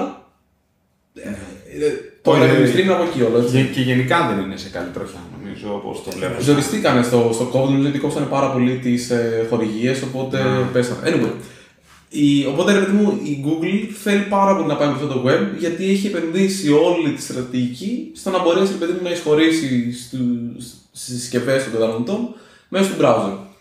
Οπότε είναι λογικό. Έτσι, μην, μην το θέσουμε ότι είναι, επειδή είναι καλοί άνθρωποι. Σωστά. Και το Πολύ αλλά. ξυνόλο. ε, Εγώ μπορώ να σου πω το αλλά τώρα. Φτάσου στο άλλα. Πάμε στο άλλα που μας αρέσει. Το αλλά είναι ότι ε, όπως έχει ακούσει ο περισσότερος κόσμος πλέον, έχει γίνει ένα, ένα, ένα shake για το web performance και τουλάχιστον in my opinion ένα super hot ε, κομμάτι αυτή τη στιγμή. Core Web Vitals. Ακριβώς. Τέλεια, σε ευχαριστώ. Ε, εγώ από τα πρώτα μου, αν θυμάμαι καλά, όχι από τα πρώτα μου, probably μπορεί και από τα πρώτα μου meetings στο Web Performance Working Group, ήταν το meeting στο οποίο ανακοινώθηκε το Core Web Vitals. Okay. Από Το τον- οποίο τι είναι, να πούμε και. Ναι, ναι. Το Core Web Vitals, αν θες, είναι κάποια metrics for faster experience των χρηστών. Αυτό τι σημαίνει; Όταν έχουν Chrome και ψάχνουν στην Google. Ακριβώς, τέλεια. Λέω ένα θα, πιο το πάμε, παράδειγμα. θα, θα το πάμε και εκεί. Και γιατί είναι εξής, ίσως υπήρχαν διάφορα plays. Αυτά τα συγκεκριμένα metrics, τα οποία αυτή τη στιγμή είναι τρία, και επίσης ε, για τα συγκεκριμένα metrics δουλεύει και το Web Performance Working Group. Δηλαδή, ε, έχουμε fixes πάνω στα specifications, στο πώς, παραδείγματος χάρη, τι είναι το LCP, ας πούμε, κάνουμε και τέτοιες συζητήσεις. Τι, τι είναι αυτά τα metrics; Είναι τρία metrics αυτή τη στιγμή, τα οποία ε, αντιπροσωπεύουν ε, αν θες κάποιες καλές, ε, κάποιες καλές πρακτικές για το user experience στο web, το οποίο είναι interactivity, το πόσο γρήγορα ένας χρήστης καταλαβαίνει ότι μπαίνω παραδείγματος χάρη στο, ε, παραδείγματος χάρη στο sourceware.gr και κάτι γίνεται, something is happening. Οκ, θα το. GR είναι το corporate. Ναι, Είναι GR είναι μια λευκή σελίδα. Ναι, για πες. Καλά, δεν πειράζει. Το δεν είναι- com, case, πάμε στο com που δεν είναι λευκό. Πώς δηλαδή ο χρήστης καταλαβαίνει ότι υπάρχει κάτι γίνεται με interaction. Stability, που σημαίνει ότι ε, θυμόσαι και πιο παλιά στο web, ειδικά μπαίνεις σε ένα άρθρο και μετά πετάω τις διαφημίσεις από παντού. Πας να κλικάρει ένα link, πετάει μια διαφήμιση από πάνω. Αυτό είναι stability. Ε, και το τρίτο είναι. Δεν θυμάμαι. τρίτο. Εννοώ το, το τρίτο κομμάτι. Πόσα μέτρη. pop-ups χρειάζεται να πατήσεις accept Για να διαβάσεις ένα άρθρο. Ναι, εντάξει, σωστά. Ε, ξεκάθαρα. Ε, και νομίζω ότι είναι, ε, είπαμε για interactivity, layout, stability και άλλο ένα, δεν θυμάμαι. Τέλος πάντων, τα core web vitals είναι τρία συγκεκριμένα metrics. Είναι το, LC, το, το LCP, το Largest Contentful Paint, το CLS, Cumulative Layout Shift, και το, ε, το δεν Ε, Δεν είχε το first content full paint. όχι, κάτι όχι. τέτοιο. Ε, έχουμε το Largest Contentful Paint, Α, σαν largest, το Core Web Vital, το CLS και το Τέλος πάντων. ένα τρίτο. FID, με συγχωρείτε, εντάξει, εντωμεταξύ, ξέρεις, ε, Δεν είναι είμαι το- μαζί, Το είναι FID, το First Input Delay. Οκ. Οκ. Το οποίο τι είναι, Το ο οποίο- χρόνος μέχρι να μπορέσω εγώ να... Ο χρόνος από τη στιγμή που θα κάνεις interaction και το layout και θα, θα ανταποκριθεί το layout. Οκ. Δηλαδή θα... έχουμε δει πάρα πολλές φορές που πας να πατήσεις ένα μενού πάνω και δεν γίνεται τίποτα μέχρι να ανοίξεις ένα... Εντάξει, γιατί πρέπει να τραβήξεις το React. Πρέπει να και- τραβήξεις ναι, τώρα, ναι, θα δεν πάει άκουσα, πίσω. δεν Άρα άκουσα. το- ναι, ναι. Ωραία. Και τι συμβαίνει αυτό. Αυτό έγινε, ε, έγινε announce και ο κόσμος νοιάστηκε μόνο όταν είπαμε ότι αυτό θα μετράει πλέον και στο advertisement και στο Στο SEO. SEO. Η αλήθεια είναι πως το advertisement είχε αρχίσει περίπου να, να υπάρχει ένα sense ότι μετράει από τη στιγμή που υπάρχει αυτό που λέγεται το page experience. Δηλαδή, όποιοι άνθρωποι είναι savvy με τα Google Ads, με το advertising του Google, ξέρουν ότι οι διαφημίσεις έχουν ένα score το οποίο είναι το page experience score. Αυτό το κάνουμε. Το οποίο φυσικά το mix ξέρεις, είναι μόνο για την Google. Δεν γνωρίζουμε ποιο είναι το, το μοντέλο πάνω σε αυτό, αλλά υπάρχουν hints ότι είναι και το perform, ή- ότι ήταν και το performance μέσα λίγο. Πλέον, officially, το performance it matters και επίσης μετράει και στο οργανικό αποτέλεσμα. Τι σημαίνει αυτό, ότι in the mix αυτού του μαγικού αλγορίθμου είναι και τα core web vitals τα οποία ε, συλλέγει η Google από πραγματικούς χρήστες. Θυμίζω, δεν είναι τρέξω ένα crawl με Lighthouse και, θυμάμαι, και, και καταλαβαίνω τι γίνεται. Μαζεύει τα δεδομένα από τους πραγματικού χρήστες και μετά μπαίνεις στο mix για το πώς θα κάνει rank η δικιά σου σελίδα. Πολύ απλά, βασικά γλιτώνεις λεφτά. Δηλαδή είναι ρε παιδί μου πραγματικά λεφτά γιατί είναι πιο φθηνή η διαφήμισή σου, πιο ψηλό το SEO σου, άρα λιγότερη διαφήμιση. Πολύ Είναι ρε σωστά. παιδί μου άμεσα συνδεδεμένο με λεφτά. Είναι Πολύ ξεκάθαρο. σωστά. Το αλλά είναι για το Google Chrome. Ωραία. Αυτό, συγγνώμη, πώς θα μπορούσε το... Από ό,τι καταλαβαίνω είναι απλά μια μέτρηση αυτό. Σωστά. Πο- Πώς θα μπορούσε αυτό να είναι στάνταρτ; Ποι- Ποιο θα ήταν το νόημα αυτού να είναι στάνταρτ; Το νόημα είναι ότι ε, αυτά τα metrics βγήκαν και υπάρχουν και τα papers ε, open source στο γιατί επιλέξαμε τα συγκεκριμένα metrics γιατί. Γενικά υπήρχε μια συζήτηση στην κοινότητα του web performance, αλλά απλά επειδή είναι πολύ μικρή, ξέρεις, ε, είχε μείνει ε, πίσω και κα- κανείς δεν νοιαζόταν. Αυτό το βλέπουμε γιατί Ναι. όλοι πήγαν στα τάρταρα. Μόλις βγήκε αυτό το πράγμα. Ναι. Ο λόγος που μπορούμε να πούμε ότι αυτό πηγαίνει πιο κοντά στο, στο standard, τα συγκεκριμένα δεν είναι, ε, δεν είναι W3C standards, όμως είναι, κάτι το, είναι, είναι τα metrics τα οποία έχουμε συζητήσει, συζητάμε actively και στο δικό μας group. Και είναι ε, APIs, τα οποία μπορούν να σου δώσουν αυτές τις μετρήσεις, ή, ε, τα οποία υπάρχουν, ε, αν το πούμε καλά μόνο στο, Στο Chrome. στους blink-based, Οκ. Στου, με συγχωρείτε, στους, στους blink-based όντως γιατί γίνονται μέσα από το, από το συγκεκριμένο rendering engine. Αν θυμάμαι καλά, δηλαδή σε αυτό, ξέρεις, don't quote me on this one, ότι είναι, ε, παραδείγματος χάρη από αυτά τα APIs που μπορείς να χρησιμοποιήσεις και σε άλλους browsers. Όμως, based on research, τα συγκεκριμένα metrics είναι τα καλύτερα για να κάνουμε το evaluate το performance. Αυτό είναι το thinking. Εγώ που διαφωνώ στο συγκεκριμένο. Και γιατί αυτά έφεραν ένα, αν θες, ένα friction στο browser πολιτικά. Να δοκιμάσω. Πάμε. Βασικά νομίζω ότι το θέμα είναι ότι κάθε rendering engine είναι διαφορετικό, οπότε εσύ μπορεί να κάνεις optimize για Chrome και να χαλάσει το Safari το αντίστροφο. Και επειδή guess what, μάλλον σε ενδιαφέρει ο Chrome να παίζει καλά, Ναι, δυστυχώς. Είναι λίγο. Εξαιρετική παρατήρηση. Ε, αυτό είναι το ένα κομμάτι. Για μένα είναι πιο πολύ ότι το, οι, οι άνθρωποι στο Safari έχουν κάνει εξαιρετική δουλειά. Μμμ. Εξαιρετική δουλειά. Optimizations τα οποία εσύ χρειάζεται να κάνεις σαν developer για να κάνεις optimize. Παραδείγματος χάρη το largest contentful paint, δηλαδή το πόσο γρήγορα κατά τη φόρτωση μιας σελίδας θα εμφανιστεί το μεγαλύτερο element στο viewport, έτσι ένα πολύ γρήγορο definition, το έχουν κάνει μόνοι τους από πριν αυτό το optimization πάνω στο engine. Οκ. Εγώ το λέω πάντα μου άρεσε- μου άρεσε το Safari, αν και τώρα παίζω Brave. Οκ, οκ, είναι α- α- άλλη κουβέντα κουβέντα, για το, ναι. τα browser wars. Αλλά είναι, ε, πώς να σου πω, είναι πράγματα τα οποία είχαν δουλέψει ήδη και έχουν σαν ε, ε, capabilities που μπορεί παραδείγματος χάρη να φορτώσει ένα site στο Safari και ένα στο Chrome πριν από τρία χρόνια, τέσσερα. Probably στο Safari, αυτά τα metrics που βγάλαμε αν θες για Core Web Vitals, να είχαν ήδη κάποια optimizations για να γίνουν αν θες από το engine. Να βοηθήσουν το site σου παρόλο που δεν ήταν Ακριβώς. optimized να Ακριβώς. δείξεις καλύτερα. Και αυτό φέρνει ένα κομμάτι ότι, οκ, η Google κρατάει πάντα το web με το advertising και το SEO, σίγουρα, το ξέρεις, ε, Ναι. και το λέω εγώ σαν, σαν Πέτρος, ο οποίος εκτιμώ πάρα πολύ την προσπάθεια της Google για το web γενικότερα, ε, ξέρω, μια γιγάντια συζήτηση, αλλά όσο Πέτρος το, το εκτιμώ, όμως έχω να πω ότι σίγουρα έχει ένα μεγαλύτερο impact επειδή κρατάει το web και το advertisement Μμ. βάζοντας στο mix τα δικά σου metrics, απευθείας έχεις και ένα, ε, τα dynamics αλλάζουν πάρα πολύ και σίγουρα φέρνεις και ένα frustration ότι παιδιά εσείς βάζετε τους developers θέλουν να κάνουν δουλειά για να κάνουν optimize αυτά τα metrics. Εμείς σαν Safari το είχαμε από πριν, δεν έχουμε ένα advertisement ecosystem Ε, και έχεις τώρα στο Safari μπορεί να έχει χίλια δύο άλλα. Ε, αλλά όμως είναι κάτι το οποίο μ, δεν το γνωρίζει ο κόσμος πολύ και αυτό έφερε ένα, ένα σχετικό friction μεταξύ των, των browsers, το Core Web Vitals, τι κάνουν κτλ. Αυτό είναι για μένα το, το αλλά. Firefox έλεγε πάντα που για να κάνουν optimize το rendering δεν βγάζαν τίποτα CSS Ε, και σου βγάζαν μια άσπρη σελίδα. Αυτό, σαν το, γράμμα. αυτό, αυτό, αυτό το θυμάμαι, είχε ένα τέτοιο. Δε- Παλιά στο Firefox, άμα άρχισα και το CSS, ξαφνικά έπαιρνε τα κείμενα έτσι στην ψύχρα. ναι, Πάρ' τα όλα.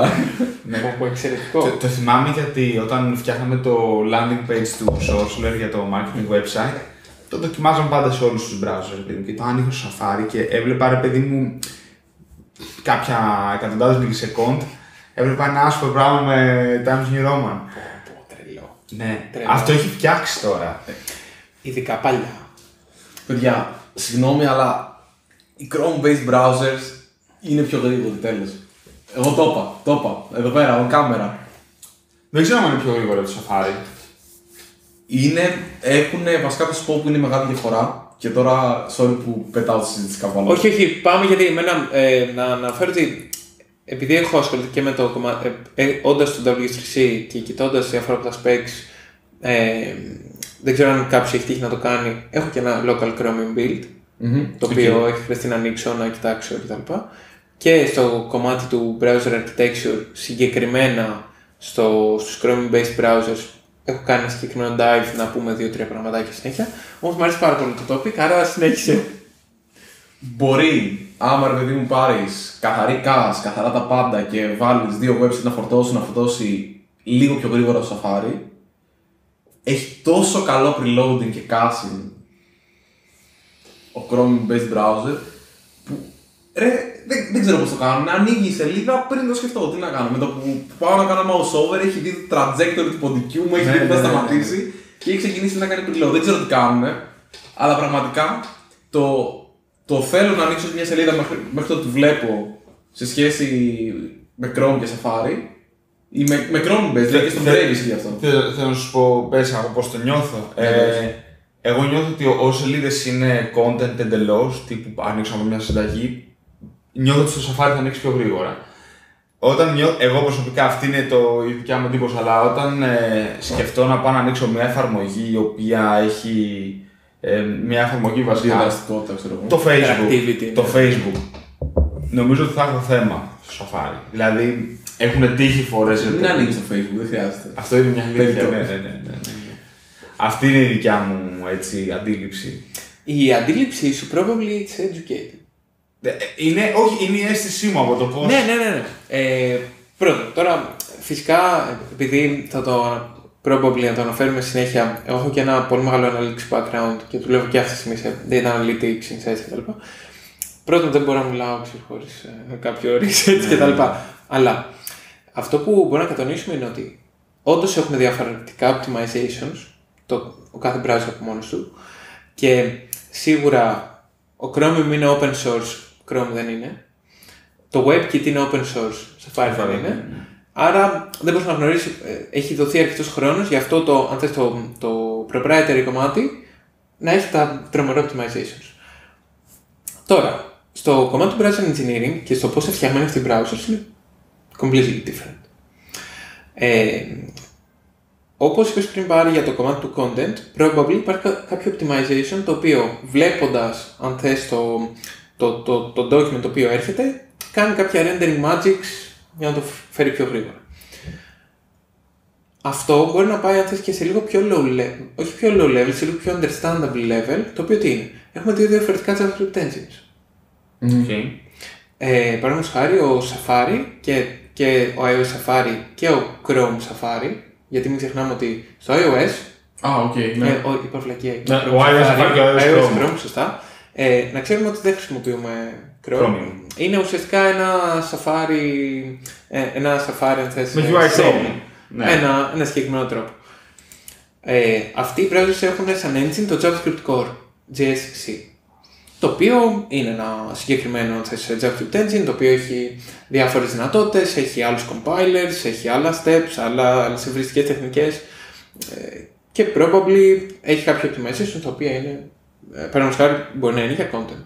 Απ' την άλλη έχουμε το V8, το οποίο είναι το πιο γνωστό αν θες, JavaScript engine, το οποίο έχει, ε, σαν Πέτρος που το παρακολουθώ και λίγο πιο κοντά, έχουν κάνει εξαιρετική δουλειά. Παραδείγματος χάρη πριν από δύο χρόνια βγάλαμε τον καινούργιο α, Generational Garbage Collector τον Orinoco. Απίστευτο performance. Ε, τώρα τελευταία βγάλαμε έναν, αν θες, ε, first level compiler, το Sparkplug. Okay. Τι είναι ο first level compiler, δηλαδή. Λοιπόν, ο, το, το V8 αποτελείται, αν θες, από έναν... Ε, γενικά η JavaScript είναι git compiled. Που τι σημαίνει αυτό, ότι έχουμε εν, είναι ένα interpreter, συνέχεια παίρνουμε τα δεδομένα του interpreter ε, μαζί με τον κώδικα, δεδομένα εννοώ δεδομένα για τα functions κτλ. Και μετά γίνεται ένα compilation down to machine code.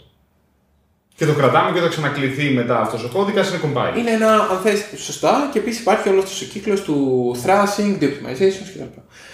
Μέχρι σήμερα το V8, μέχρι σήμερα και τα τελευταία, αν θες, 3-4 χρόνια, πριν, πριν προχωρήσει από ένα άλλο architecture, έχουμε τον interpreter, ο οποίος ε, είναι το igni- ο ignition, ένας interpreter ο οποίος υπάρχει στο V8, ο οποίος ξέρεις, κοιτάει JavaScript, έχουμε ένα interpreted language και βγάζει ένα bytecode το οποίο μας επιτρέπει ένα super fast execution αλλά not optimized και μετά έχουμε και το turbofan ο οποίος είναι optimizing compiler ο οποίος τι κάνει, παίρνει κομμάτια αυτού του bytecode τρέχει ευριστικές και τα λοιπά και τα κάνει machine code Okay.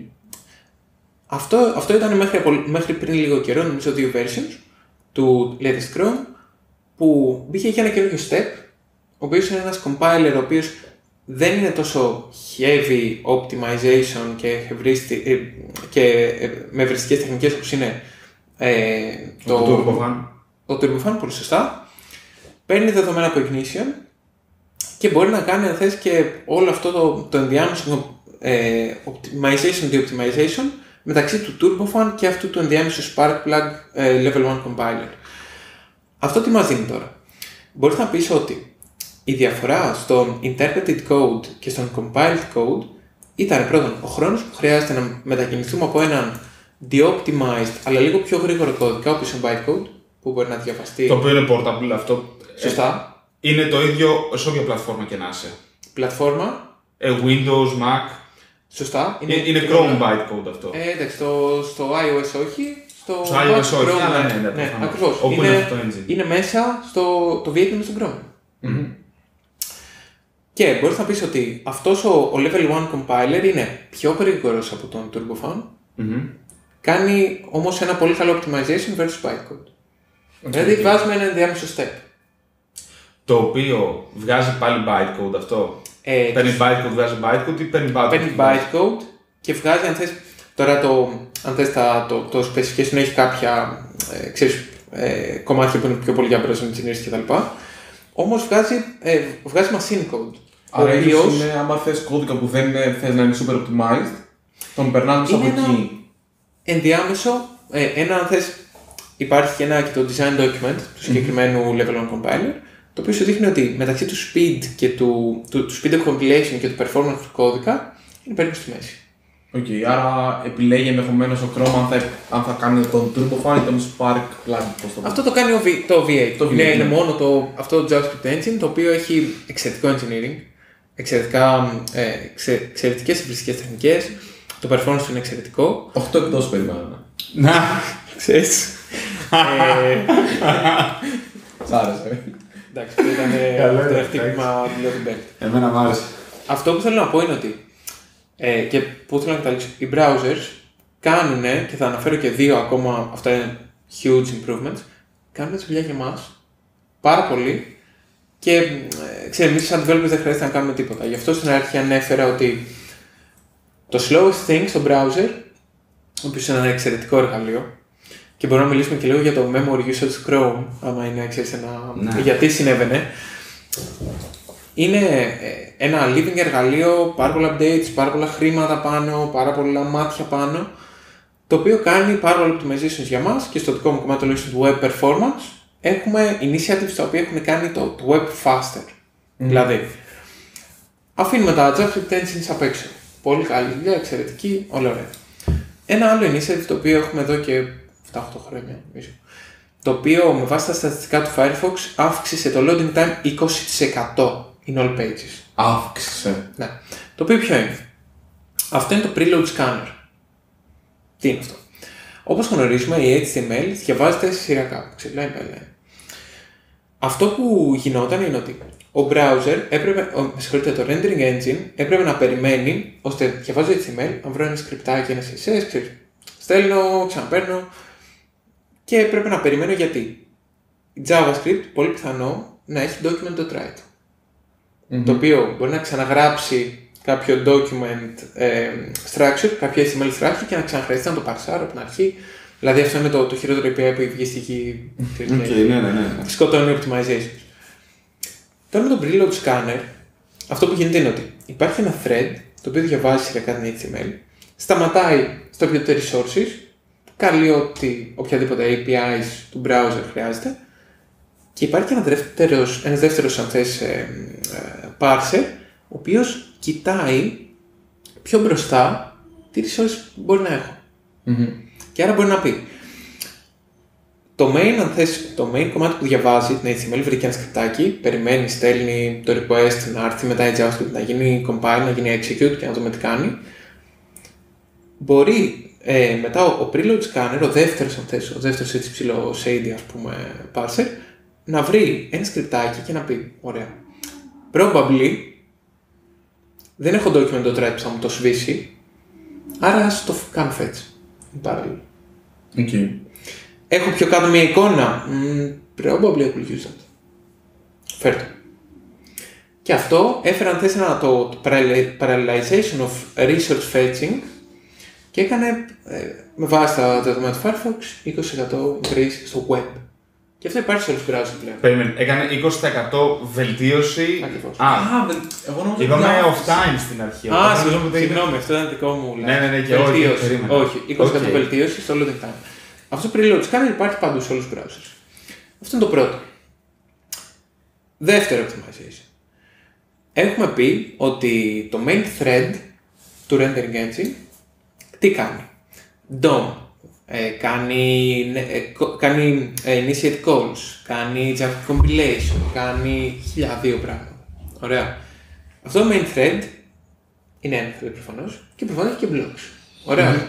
σημαίνει ότι εγώ π.χ. έχω 3-4 σκριπτάκια σε μια σελίδα. Κανονικά θα έπρεπε να κατέβουν, να, να καλέσω αυτά τα σκριπτάκια να κατέβουν. Πες ότι ε, τα κατεβάζω in parallel. Όλα. Τέσσερα σκριπτάκια. Είμαι μερακλής, ας πούμε. φέτα, όλα. Ναι, ναι, ναι. Ε, by the way, το parallelization είναι ξεχωριστό σε κάθε browser. Το πο- μέχρι πόσα resource πρέπει να τραβάει parallel. Και σου λέει ότι όμως μετά το ίδιο thread πρέπει να κάνει ε, compile και execute αυτή τη JavaScript. Αυτό επειδή γίνεται στο main thread, όπως μπορείτε να καταλάβετε, είναι blocking. Οκ.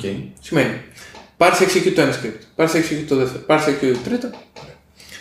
Αυτό που γίνεται πλέον στους browsers είναι αυτό το off the main thread compilation. OK. Τουλάχιστον να μην φας αυτό το χρόνο. Και απλά κάνει το execute σειριακά. Ακριβώς. Οκ. Αυτό μπορεί να φανταστούμε άλλο πόσο improvement φέρνει. Όλο αυτό είναι πράγμα το οποίο γίνεται σε στους browsers.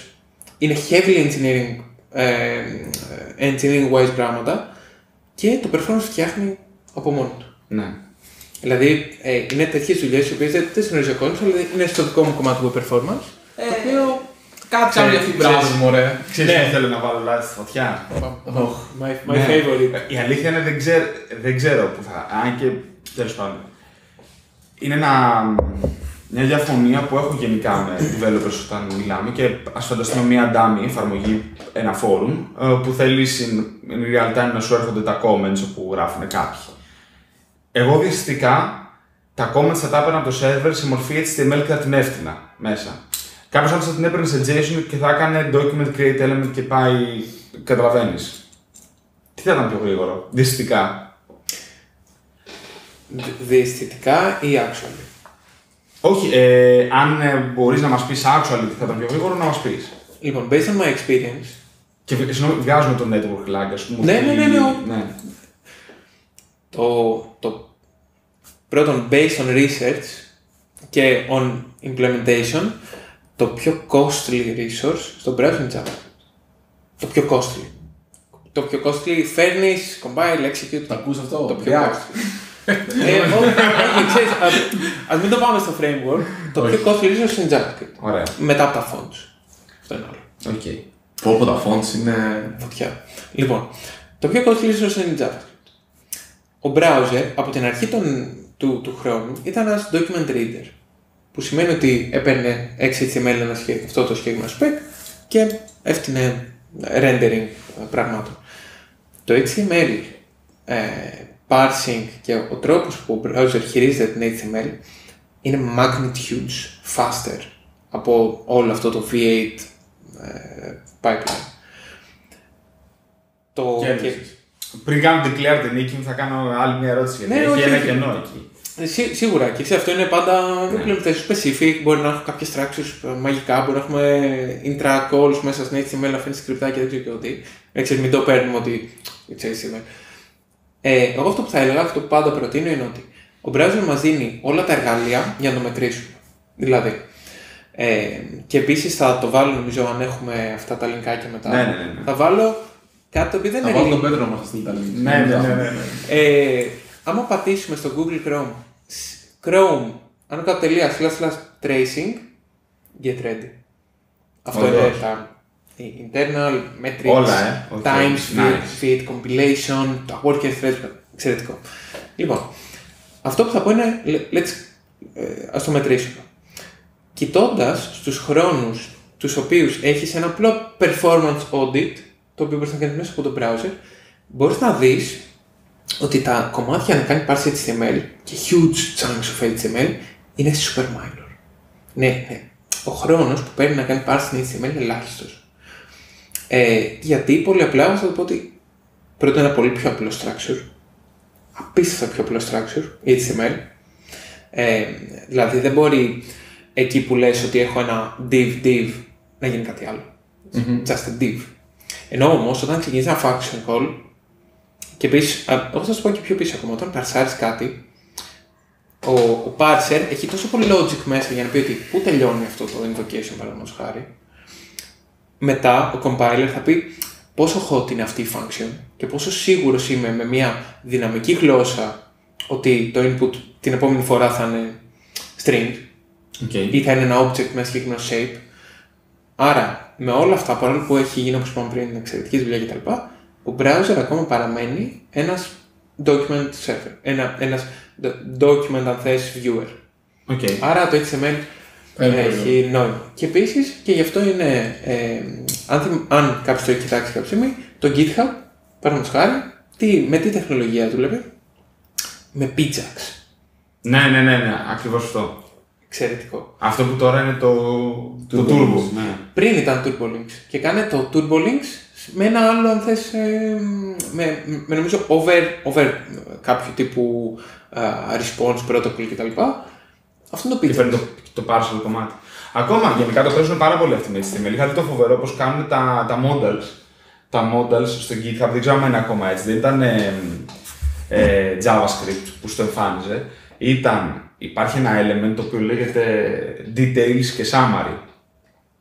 Λοιπόν, το κουμπί του details ήταν το κουμπί που κάνει trigger το modal. Το summary ήταν το modal και όλο το άλλο ήταν CSS. Οπότε στο CSS όταν πάταγες με HTML άνοιγε το summary, αλλά αυτή με CSS το έχουν βάλει να φαίνεται από πάνω. Έτσι ώστε να μπορεί να παίζει και χωρίς JavaScript αυτό το Τρελό. πράγμα. Γάμο τα engineering, και μια και λέγαμε για μεράκι στο προηγούμενο Απει- επεισόδιο. Είναι, είναι πραγματικά μεράκι. Ναι. Είναι Ε, πραγματικά. ναι, αυτό ήταν γαμάτο. Ε, αυτό το οποίο ήθελα να, να ρωτήσω πριν κάνω declare το, το απόλυτο victory μου, ρε παιδί μου, ε, είναι όμως ότι παρόλα αυτά, εγώ, ωραία, έστω ότι παίρνω μ, από το server έχω δύο εκδοχέ. Παίρνω ένα JSON το οποίο λέει ε, μ, αυτό είναι το, η εικόνα στο πούμε, του Πέτρου που γράψε το κείμενο, αυτό είναι το username, αυτό είναι το κείμενο. Ωραία.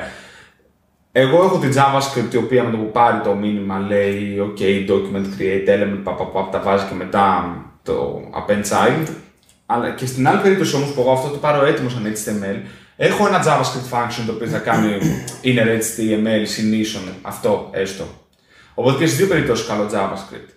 Από εκεί πέρα, παρόλα αυτά η δεύτερη συνάρτηση, βασικά όχι παρόλα αυτά, να ρωτήσω, παίζει όντως η δεύτερη συνάρτηση να είναι πιο φθηνή; Δεν το λέω, δεν το λέω επειδή θέλω τέτοιο. το- Θα- το- ωραία. ε, ε, Και στις δύο περιπτώσεις έχω JavaScript. Ναι, Μια- ναι. η- Η μία κάνει construct elements και η άλλη κάνει append HTML. Εγώ έχω δύο comments πάνω σε αυτό. Δεν, σίγουρα, εντάξει, αφού βάζω. Εξαρτάται, όχι. Μπαίνουν steps. Ναι. Εγώ θα σου πω το, αυτό που θα σκεφτόμουν έτσι, το, το πρώτο που μου έρθει στο μυαλό. Αν εσύ στείλεις JavaScript, τι βλέπει ο χρήστης; Τίποτα. White. Άμα στείλεις HTML και μετά περιμένεις μέχρι να έρθει το inner HTML, τι βλέπεις ο χρήστη. Something. OK. Άρα μπορείς να πεις ότι ε, στο κομμάτι αυτό που θες να κάνει ένα inner HTML, ας στείλω το loader, το, το κενό κείμενο, το skeleton div, ας το στείλω με HTML OK. και μετά κάνω JavaScript, ξέρεις. Μπορεί να έχω έτοιμο ένα loader, το στέλνω με HTML, είναι Να εκεί. κάνω hydrate μετά. Ναι, ξέρεις, πω, πω, μπαίνουν παιδιά, αυτά είναι πω, πω, πολύ δυ- δύσκολα θέματα. Αλλά εγώ έτσι, έτσι intuitively μου έρχεται. Οκ. Ότι στυλ, στέλνεις κάτι, Αυτό, θα- αυτό μπορούμε να το κάνουμε ένα, ένα βιντεάκι τέτοιο, να δούμε κάποια τέτοια παραδείγματα, πώς θα... Θα έχει χαβαλέ. χαρά μου και μπορώ μετά, άμα, άμα τα τρέξουμε σαν ε, data, να το ανεβάσω σαν group. Δηλαδή, μπορώ να το Ναι, κάνω OK. present ε, ενώ στο... Nice. Ναι, ναι, τέλεια, τέλεια, τέλεια, τέλεια. Αυτό θα ήταν, θα ήταν πολύ καλό. Εγώ κρατάω πάντως ότι οι browsers είναι φίλοι μας. Οι browsers είναι φίλοι μας, δεν το συζητάμε και θέλει το καλό μας. Σίγουρα και ε, τώρα ξέρεις για αυτούς που λένε Chrome, ξέρω που τρώει την μνήμη κτλ. Μπράβο. ναι. Αν το πες και το κουστομπολιό. Ναι, για πολλούς λόγους. Οκ. Ε, τι σημαίνει. Ο Chrome, για αυτό που γνωρίζω καλύτερα, δεν, δεν μπορώ να πω για το Safari, ας πούμε, μπορεί να είναι even better. Είναι ένα multi-process, multi-threaded πρόγραμμα. Που τρώει την Ωραία. μνήμη σου. Που τι κάνει. Υπάρχει ένα process το οποίο το καλούν servification στο Chrome.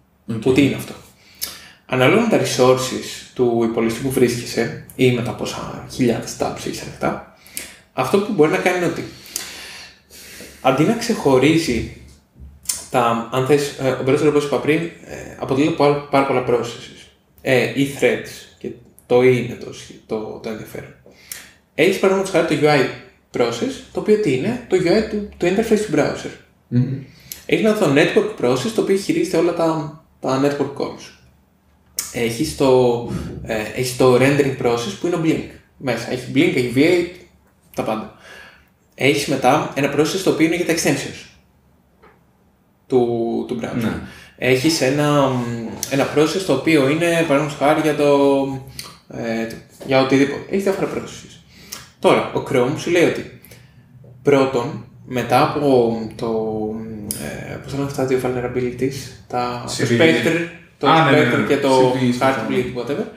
Μετά από αυτά, ε, έβγαλαν αυτό που λέει το Site Isolation. Που σημαίνει ότι τι. Ε, Κάθε tab, κάθε όχι tab, domain, κάθε domain. δηλαδή σημαίνει ότι αν έχεις iframes, είναι ένα δικό του sandbox. Ε, ε, εξαιρετική υλοποίηση. Κάθε domain δικό του sandbox. Τώρα, εσύ όμως, αν είσαι λέει όλα αυτά, έχουμε ξεχωριστά processes. Ωραία, και έχουμε ένα Inter-Process Communication Module, το οποίο λέγεται Mojo, το οποίο κάνει όλο αυτό το IPC. Τώρα, αν είμαστε σε ένα resource contra- constraint περιβάλλον, προσπαθεί και κάνει merge διάφορα από αυτά σε ένα process OK. με δικά τους threads. Για να μπορέσει να σώσει μνήμη. Δυναμικά, δηλαδή υπάρχει αυτό το capability, το οποίο και αυτό έχει τα δικά του design documents. Wow, Εντάξει, κάτι κάνουμε είπαμε. κάτι κάνει. Λοιπόν, και πιθανώς, ανάλογα με το environment που είσαι, υπάρχουν και άλλο για το memory consumption, δεν θυμάμαι υπάρχει και ένα συγκεκριμένο άρθρο, αλλά ανάλογα με το περιβάλλον που είσαι, ο Chrome μπορεί με ευριστικές τεχνικές πάντα να πει ότι merge και merge. Άρα, άμα δει ότι έχει μνήμη, τρώει. spread τα πάντα. Ναι. Ε, και κάποια features που έγιναν τελευταία, γιατί αυτό νομίζω το memory thing, εντάξει ψηλό, δεν παίζει τελευταία, είναι από ξέρετε, κάποια optimizations που γίνονται σε αυτό το μοντέλο. Αλλά είναι wow, εξαιρετικό δηλαδή ε, κομμάτι. Και τα documents τα, υπάρχουν, τα οποία υπάρχουν πάνω σε αυτό είναι Super. super. Μάλιστα. Πληροφορία full, ε. Ναι, ναι, ναι. ναι. Είσαι έτοιμος να γράψεις browser τώρα πάλι; Ναι, είμαι έτοιμος. Ξεκινάμε να γράψω το δικό μου. Να Λοιπόν, πω, να πω ένα πες. τελευταίο για τον browser. Πες, ναι. Λοιπόν, για τον browser, για να πάμε στα επόμενα, για να κλείσουμε αυτό. Ε, στη, επειδή το συγκεκριμένο το Network Error Logging το έτυχε και το παρουσίασα στην ε, Trivago που δούλευα παλαιότερα. Ε, το παρουσίασα ιστορικά και ήθελα να δείξω στον κόσμο ότι παιδιά, look at the specs και η υλοποίηση, ο browser δεν είναι κάτι ξέρω, μαγικό, κάποιο bespoke knowledge. Άνοιξα το Chromium που είχα locally και πήγα στο source και τους έδειξα πώς υλοποιείται το network error logging. Πώς υλοποιείται actually. Ε, θα πρότεινα, guys, go to the... υπάρχει ένα Chromium, Chromium Source Viewer. Είναι απλά C++ code, το, ένα μεγάλο κομμάτι, ειδικά στο, στο Blink και στο V8 και μπορείς να δεις πώς υλοποιείται αυτό το πράγμα. Που όντως, Οκ. παιδιά, δεν γράφουν ε, ε, κινέζικα, ε, για όποιους ξέρετε είναι Κινέζοι. ε, προφανώς. ε, όμως είναι, είναι super understandable. Και για μένα τουλάχιστον σαν Πέτρο, ε, τα, το πώς γράφουν κώδικα, τα comments τους, τα variable settings, τα style guides τους, let's adopt this. Οκ. Ε, ας κλείσουμε το browser, αλλά guys, open it, it's there. Όχι, εγώ λέω να. ε, Νομίζω ότι είμαστε για άνω τελεία και να κάνουμε. Θα, κα- θα κάνουμε part 2. Part 2 σίγουρα. Ό,τι θέλετε, παιδιά. δεν Ναι, έχουμε ναι. μιλήσει για analytics. Ναι, έλα μου τώρα analytics. Αυτά Δεν τα έχουμε τα μιλήσει- δεν είναι φίλοι μας. Δεν έχουμε μιλήσει για αυτά τα Δεν θέλουμε data. τα Εντάξει, θα δούμε. Θα- Αυτό είναι άλλο κομμάτι. Ε, δεν έχουμε μιλήσει για advertisement και το τι data παίρνουν για μας, τι κοιτάνε. έτσι. Εντάξει, μου Επειδή και να πω και στον κόσμο γενικά, γιατί ίσως το συζητήσουμε αυτό, επειδή εγώ είμαι πάρα πολύ involved μέσα στο συγκεκριμένο industry. Πέρα το τη εργασική μου εμπειρία πάνω σε αυτό και αυτή τη στιγμή εργάζομαι σε data insights projects, analytics, ε, advertising optimization κτλ. Έτυχε και ήμουνα σαν μέλος του W3C, ήμουνα παρόν στο Web Advertisement Business Group, το ένα από τα μεγάλα τους meetings, τα οποία γίνονται λόγω του cookie-less, ε, data, privacy κτλ. Το οποίο ήταν behind closed doors. Okay. Και έτσι, spoiler για να κάνουμε το part 2, να υπάρχει έτσι αυτό το, το flame. Ε, ήταν από τις πρώτες φορές που ε, σαν group με αποκάλεσαν shady ε, και ε, bi- biased against Google και κλειστές πόρτες κτλ. Α, Ε, ωραία. ναι, πολύ ενδιαφέρον από ένα συγκεκριμένο άρθρο. Wow. Αλλά έχουμε, έχουμε πάρα πολλά πράγματα να πούμε σε αυτό. Είναι κάτι που τρέχει πάρα πολύ. Και μ, πέρα από το, εντάξει, εννοείται το, το κοινό μας είναι πιο πολύ tech. ε, Πέρα και από αυτό να, να κατανοήσουμε λίγο το πώς αυτά τα advertisement, δεδομένα, ε, insights, ε, modeling, πώς αυτά actually επηρεάζουν τη ζωή μας σαν, ε, επειδή το social media είναι, ε, είναι entangled σε ό,τι κάνουμε σήμερα και σε society και σε individuals, πώς όλα αυτά έχουν όντως νόημα. Δηλαδή το αν θα κάνουμε cookie ή όχι, it actually matters. Part 2. Part 2 λοιπόν. Ε, το, Το, υποσχέθηκε, se- το sequel. το, το υποσχέθηκε on camera, οπότε τώρα Ναι, δεν ναι, έχει- ναι, ναι, ναι. Τέλεια, χαρά μου παιδιά. Ε, ωραία, οπότε πάμε στα. Πού σε βρίσκουν, αφού είπες δεν έχεις social media, δεν έχεις ένα Ναι, δεν Star, πού ε, σε βρουν, δεν έχουμε LinkedIn, δεν έχουμε Instagram, δεν ξέρω Instagram, δεν ξέρω πόσο επαγγελματικό είναι.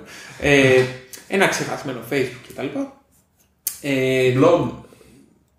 Ούτε blog. Έχω, θα σου πω, Twitter.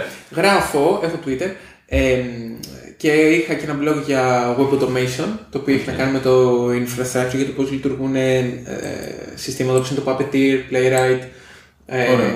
Selenium, το οποίο έβγαλε και ένα καινούργιο version, πλέον το WebDriver είναι spec, Ναι, ναι, ναι, μπράβο. εξαιρετικό. Ε, Part 3. Σ' αρέσει τα specs, ε. δεν ξέρω, δεν ξέρω παιδιά.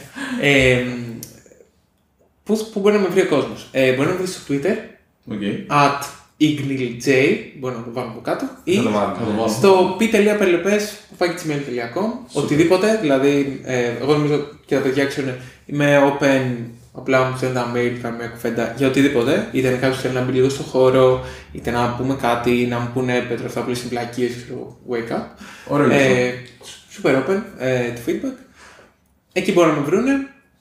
Ε, τώρα τι, πάμε Τέλεια. στα pics. Ε, α, λοιπόν, ναι, έχουμε το τελευταίο κομμάτι. Μπορείς να, αν έχεις να προτείνεις κάτι, ρε παιδί μου, επειδή είσαι καλεσμένος, έχεις το δικαίωμα να προτείνεις παραπάνω από ένα πράγμα, ρε παιδί μου. Όχι Είναι τα pics που λέμε. τα picks, τα picks. Ναι. Πάμε. Οπότε, Ωραία. έχεις, θες να πας πρώτος ή τελευταίος. Τελευταίος.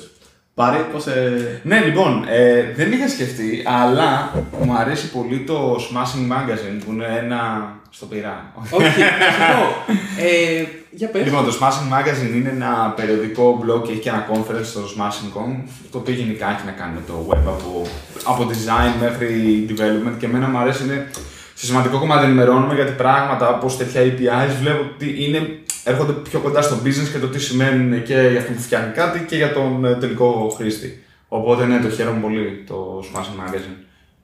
Εξαιρετικό pick. Ε, και να αναφέρω. Δεν λέει, δεν λέει αυτό Ναι. είναι τυχαία. Ε, γνωρίζω τον creator του Smashing Magazine προσωπικά. Όντως. Τον είχα γνωρίσει στη Γερμανία πέρσι. Τον Βιτάλη, κάτι δεν θυμάμαι. Ε, ο οποίος είναι ένας εξαιρετικός τύπος. Τρομερός, super open. Και επίση είμαι και ε, επίσημος author του Smashing Magazine, αν και δεν έχω γράψει κάτι. Ε, αλλά είναι ένα από τα, τα, τα sites τα οποία και εγώ από δεν ήξερα καν nothing. Εξαιρετικό resource, άρα thumbs up for that. Τέλεια. Ευχαριστώ από μένα. Σου- Εγώ έχω, είχα κάτι στο μυαλό μου και έχεις σβήσει στο μυαλό μου αυτή τη στιγμή. Να δώσει πληροφορία, οπότε θα, θα κάνω skip για Θα κάνω σήμερα pass. το τέτοιο. Οπότε Πέτρο θα μας πεις εσύ. Ωραία, ωραία. Pix. Picks. Λοιπόν, το πρώτο ε, είναι heavy engineering. Ε, είναι ένα presentation το οποίο λέγεται Life of a Pixel. Οκ. Το έχω δει νομίζω αυτό. Ε, ένα τρομερό σχετικά dive στο πώς ένα pixel από το κώδικά μας πηγαίνει στο browser, γίνονται όλα αυτά τα processes, το rendering, πώς γίνεται, ποια συστήματα έχουν σχέση με αυτό, φτάνει και τελικά βλέπουμε εμείς ένα, ένα pixel στη, στην οθόνη του browser. Εξαιρετική παρουσίαση με, ε, με εξαιρετικό επίσης, πέρα το content έχει και το βίντεο το οποίο παρουσιάζεται. Έχει ένα, ε, δηλαδή πιθανώς κάποιος που το βλέπει πρώτη φορά δεν θα καταλάβει τίποτα, αλλά Έχει πολλή πληροφορία, το βλέπεις, το αλλά είναι ψάχνεις. ε, πολύ, ωραίο, πολύ ωραίο resource. Ε, δεύτερο. Ε, Έχει έρθει φορτσάτος. Ναι, ξέρω, όχι, απλά έτυχε και τα, τα θυμόμουν. Εννοείται Τέλεια. κόσμο ό,τι να είναι, έτσι. Δεν Όχι, χρειάζεται όλα tech. θα τα Όλα, βάλω. όλα. Ο, ο- όχι, ενώ δεν κάνουμε plug και κάτι non-tech, έτσι. Ναι, ναι, ναι, εννοείται. Ωραία. Ε, εγώ αυτό που θα έκανα είναι το. Θα μιλήσουμε ίσως την άλλη φορά, όχι, δεν το κάνω πλάτη τώρα. Ε, θα έβαζα το Economist podcast, Μμμ. το οποίο τι είναι από το Economist Group. Είναι ένα podcast το οποίο ε, everyday τις καθημερινές βγάζει ένα 20 λεπτό τι γίνεται στον κόσμο. Ωραία. Και έχει και επίσης και συγκεκριμένα ε, sections τα οποία βγάζουν παραδείγματος χάρη μία φορά την εβδομάδα ένα λίγο πιο μεγάλο επεισόδιο 40 λεπτό το οποίο μπορεί να είναι για το environment, ε, politics, ε, economics και έχει και τα καθημερινά τα οποία είναι πολύ, πολύ ενδιαφέροντα. Άρα Τα νέα της μέρας, πούμε. κάπως. ακριβώς, Α, ναι. ακριβώς, follow that και κάντε subscribe στο συγκεκριμένο podcast. Πέρα των παιδιών εννοείται μικρή κουβέντα. Εντάξει, δεν τώρα πειράζει. ένα καλύτερο podcast αυτό. δεν Ωραία. συζητάμε. Και το τρίτο plug, αφού σήμερα μιλήσαμε για, για web performance, θα είναι το. μ, Ε, ας το βάλω αυτό. Το Lighthouse Repo. Οκ. Το Lighthouse είναι ένα open source εργαλείο. Για να μετράει τα Core Web Vitals της Google. Σωστά. Και επίσης να αναφέρω ότι βλέποντας τον κώδικα υπάρχουν είναι open source όλα τα audits αυτού του Οκ. εργαλείου. By the way, το Lighthouse είναι integrated σε κάθε Chrome browser. Αν ανοίξετε το DevTools και πάτε στο α, audits, έχει και ένα, ένα συγκεκριμένο logo πολύ ωραίο. Πολύ ωραίο codebase, πολύ ωραία comments.